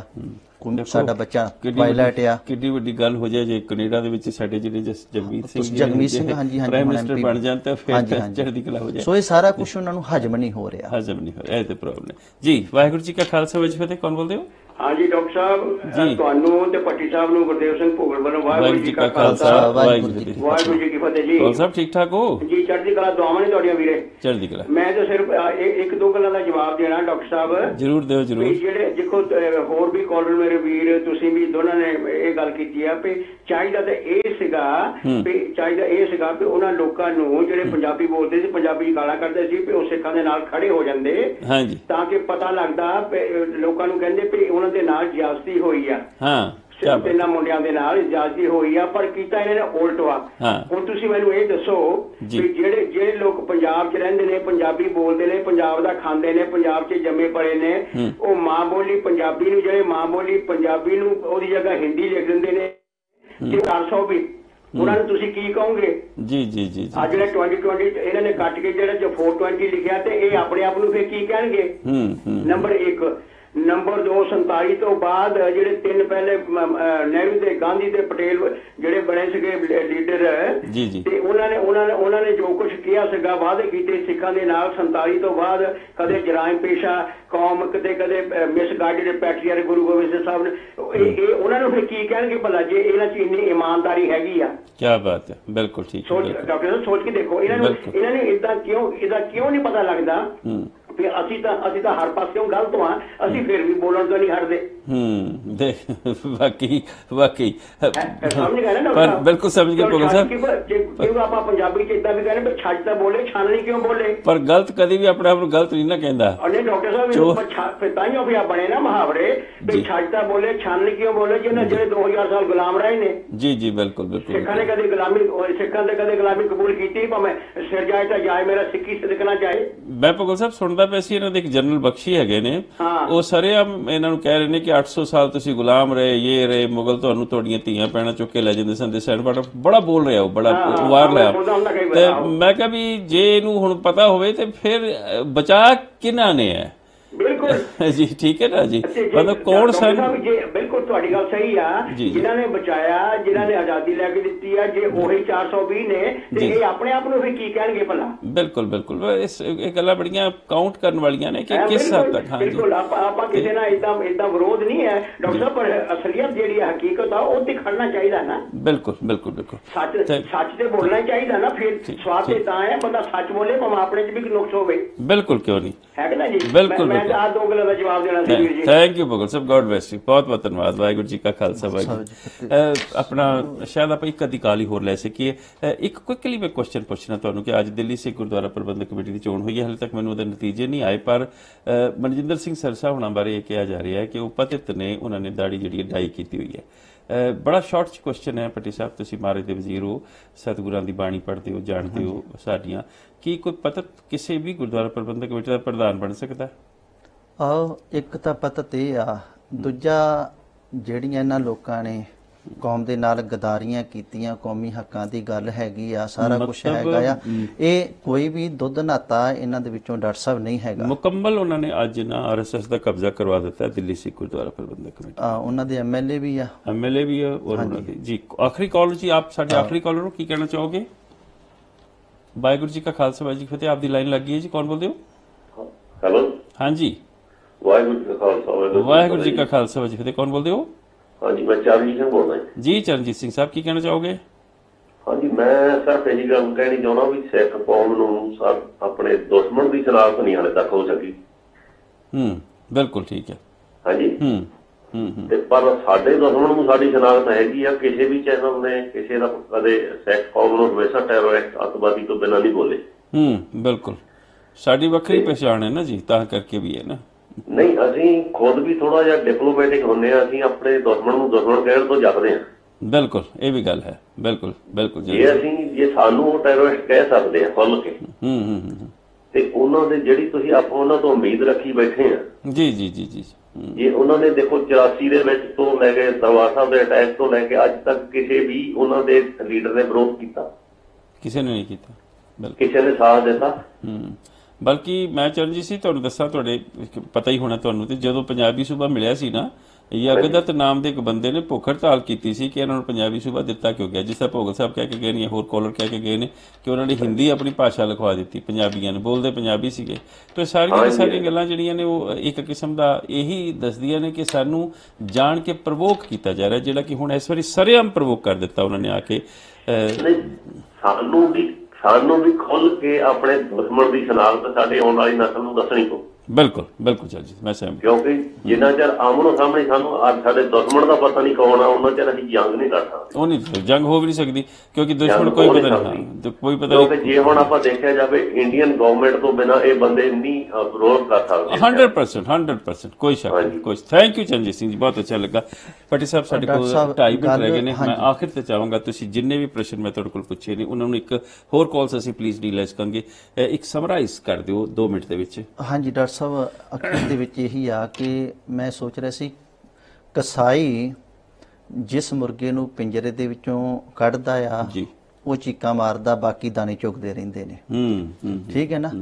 ਅੱਜ ਇਹਨਾਂ ਤਿੰਨ ਨੌਜਵਾਨਾਂ ਨੂੰ ਉਮਰ ਕੈਦ ਹੋਈ ਹੈ ਚਾਹੇ ਸਾਡਾ ਵੀਰ ਜੱਗੀ ਜੌਲ ਉੱਥੇ ਆ ਜਾਂ ਹੋਰ 90 90 ਸਾਲ ਦੇ ਸਾਡੇ ਬਜ਼ੁਰਗ ਹੋ ਚੁੱਕੇ ਨੇ ਜਿਹੜੇ ਅਜੇ ਵੀ ਜੇਲ੍ਹਾਂ ਵਿੱਚ ਬੰਦ ਨੇ। ਸੋ ਜੇ ਉਹਨਾਂ ਦੇ ਨਾਲ ਬੇਇਨਸਾਫੀ ਤੱਕਾ ਹੋ ਰਿਹਾ ਤੇ ਉਹ ਦਿਨ ਦੂਰ ਨਹੀਂ ਜਦੋਂ ਬਾਕੀ ਸਿੱਖਾਂ ਦਾ ਵੀ ਇਹੀ ਹਾਲ ਹੋਏਗਾ ਔਰ ਹੋ ਰਿਹਾ ਆ। ਪਰ ਉਸੇ ਕੇ ਜੋ ਹੋਆ ਤੋ ਆਪਣੇ ਵੀ ਜਾਣ। ਸੋ ਸਾਡੇ ਨਾਲ ਵੀ ਹੋਏਗਾ। ਸੋ ਇਸ ਕਰਕੇ ਸਾਨੂੰ ਸਾਰਿਆਂ ਨੂੰ ਇੱਕ ਝੰਡੇ ਥੱਲੇ ਇਕੱਠੇ ਹੋਣਾ ਚਾਹੀਦਾ। ਕੇਵਲ ਇਹੀ ਨੌਜਵਾਨ ਜਿਹੜੇ ਉੱਥੇ ਗਏ ਉਹਨਾਂ ਨੂੰ ਨਹੀਂ ਬਲਕਿ ਜਿੰਨੀਆਂ ਵੀ ਸੰਸਥਾਵਾਂ ਪੂਰੇ ਯੂਰਪ ਦੀਆਂ ਹੈਗੀਆਂ ਉਹਨਾਂ ਸਾਰਿਆਂ ਨੂੰ ਰਲ ਕੇ ਇਹਦੇ ਵਿਰੁੱਧ ਜਿਹੜਾ ਵਾ ਬਹੁਤ ਤਕੜਾ ਮੁਜ਼ਾਹਰਾ ਕਰਨਾ ਚਾਹੀਦਾ ਨੌਜਵਾਨਾਂ ਦੀ ਰਿਹਾਈ ਵਾਸਤੇ। ਕਿ ਤਿੰਨ ਤਾਂ ਹੈਗੀ ਹੈਗੇ ਬਾਕੀ ਜਿਨ੍ਹਾਂ ਸਜ਼ਾਵਾਂ ਕੱਟ ਲਈਆਂ ਸਾਡੇ ਜਿਹੜੇ ਮੁੱਦੇ ਹੈਗੇ ਆ ਦੁੱਖ ਦੀ ਗੱਲ ਇਹੀ ਆ ਕਿ ਬਰਗਾੜੀ ਮੋਰਚਾ ਬੜੀ ਸਫਲਤਾ ਦੇ ਨਾਲ ਚੱਲ ਰਿਹਾ ਸੀ ਤੁਹਾਨੂੰ ਪਤਾ। ਹੈ। ਔਰ ਸਾਡੀ ਬਦਕਿਸਮਤੀ ਆ ਕਿ ਜੇ ਉਹ ਮੋਰਚਾ 2-3 ਮਹੀਨੇ ਉਸੇ ਤਰ੍ਹਾਂ ਚੱਲਦਾ ਰਹਿੰਦਾ ਤੇ ਉਹਦੇ ਵਿੱਚੋਂ ਜਿਹੜਾ ਹੁਣ ਇਲੈਕਸ਼ਨ ਆ ਰਹੀ ਐਮਪੀ ਵਾਲੀ ਸਾਡੇ 2-4 ਐਮਪੀ ਸਾਡੇ ਨਿਕਲਦੇ ਸੀ ਵਿੱਚੋਂ। ਇਹ ਮੈਂ ਗੱਲ ਦਾਵੇ ਨਾ ਕਹਿਣਾ ਬਿਲਕੁਲ ਬਿਲਕੁਲ। ਠੀਕ ਹੈ ਨਾ? ਬਹੁਤ ਅੱਛਾ ਐਨਾਲਿਸਿਸ ਕੀਤਾ ਸੋ, ਹੁਣ ਜਿਹੜਾ ਸਮਾਂ ਆ ਰਿਹਾ ਫਿਰ- ਅਦਵਾਟੇ ਛੱਡ ਦਿੱਤਾ ਹਾਂ ਉਹਦੇ ਵਿੱਚੋਂ ਦੇਖੋ ਡਾਕਟਰ ਗੁਰਦਰਸ਼ਨ ਸਿੰਘ ਢਲੋਸੀ ਸਾਡੇ ਸਰਦਾਰ ਨਵਤੇਜ ਸਿੰਘ ਆਈ ਸਭ ਸੇ। ਇਹੋ ਜਿਹੇ ਬੰਦੇ ਜਿਹੜੇ ਪੜ੍ਹੇ ਲਿਖੇ ਸੀ ਸਾਨੂੰ ਪਾਰਲੀਮੈਂਟ ਦੇ ਵਿੱਚ ਚੁਣ ਕੇ ਬਰਗਾੜੀ ਮੋਰਚੇ ਦੇ ਵਿੱਚੋਂ ਐਮਪੀ ਨਿਕਲ ਰਹੇ ਸੀ ਸਾਡੇ। ਜੀ। ਤੇ ਦੁਸ਼ਮਣ ਉਹਦੇ ਵਿੱਚ ਕਾਮਯਾਬ ਹੋ ਗਿਆ ਮੋਰਚਾ ਚੁਕਾ ਦਿੱਤਾ ਗਿਆ। ਹੁਣ ਵੀ ਅਸੀਂ ਇਹੀ ਹੱਥ ਜੋੜ ਕੇ ਬੇਨਤੀ ਕਰਦੇ ਹਾਂ ਸਾਰੇ ਜਥੇਬੰਦੀਆਂ ਨੂੰ ਜਿੰਨੇ ਵੀ ਇਹ ਕੇਵਲ ਸ਼ਰਾਬ ਦੀ ਬੋਤਲ ਤੇ ਨਾ ਵਿਕ ਜਾਣ ਆਪਣੀ ਜ਼ਮੀਰ ਨੂੰ ਵੇਚਣ ਨਾ ਹੈਗੀਆਂ। ਪਰਮਜੀਤ ਕੌਰ ਖਾਲੜਾ ਜੀ ਐਮਪੀ ਖੜੇ ਨੇ ਹੋਰ। ਜਿਹੜੇ ਸਿੱਖੀ ਸੋਚ ਵਾਲੇ ਗੁਰੂ ਗ੍ਰੰਥ ਦੀ ਸਾਹਿਬ ਇਹਦੇ ਉੱਤੇ ਵੀ ਆਪਾਂ ਇੱਕ ਜ਼ਰੂਰ ਪ੍ਰੋਗਰਾਮ ਕਰਾਂਗੇ ਇਲੈਕਸ਼ਨਾਂ ਦੇ ਉੱਤੇ। ਕਿ ਪਰ ਜੇ ਬਹੁਤ ਬਹੁਤ ਧੰਨਵਾਦ ਆਪ ਸਭਨਾਂ ਦੇ ਜੀ। ਹੋਈਆਂ ਪੁੱਲਾ ਦਿਖੇ ਮੈਂ ਪੱਟੀ ਸਾਹਿਬ ਫਤਿਹ ਬੁਲਾਈਏ ਜੀ। ਵਾਹਿਗੁਰੂ ਜੀ ਕਾ ਖਾਲਸਾ ਵਾਹਿਗੁਰੂ ਜੀ ਕੀ ਫਤਿਹ। ਅਕਾਲ ਚੈਨਲ ਨੂੰ ਸਬਸਕ੍ਰਾਈਬ ਕਰੋ। ਨਵੀਂ ਵੀਡੀਓਜ਼ ਦੀ ਨੋਟੀਫਿਕੇਸ਼ਨ ਦੇ ਲਈ ਬੈਲ ਆਈਕਨ ਨੂੰ ਕਲਿੱਕ ਕਰਨਾ ਨਾ ਭੁੱਲਣਾ।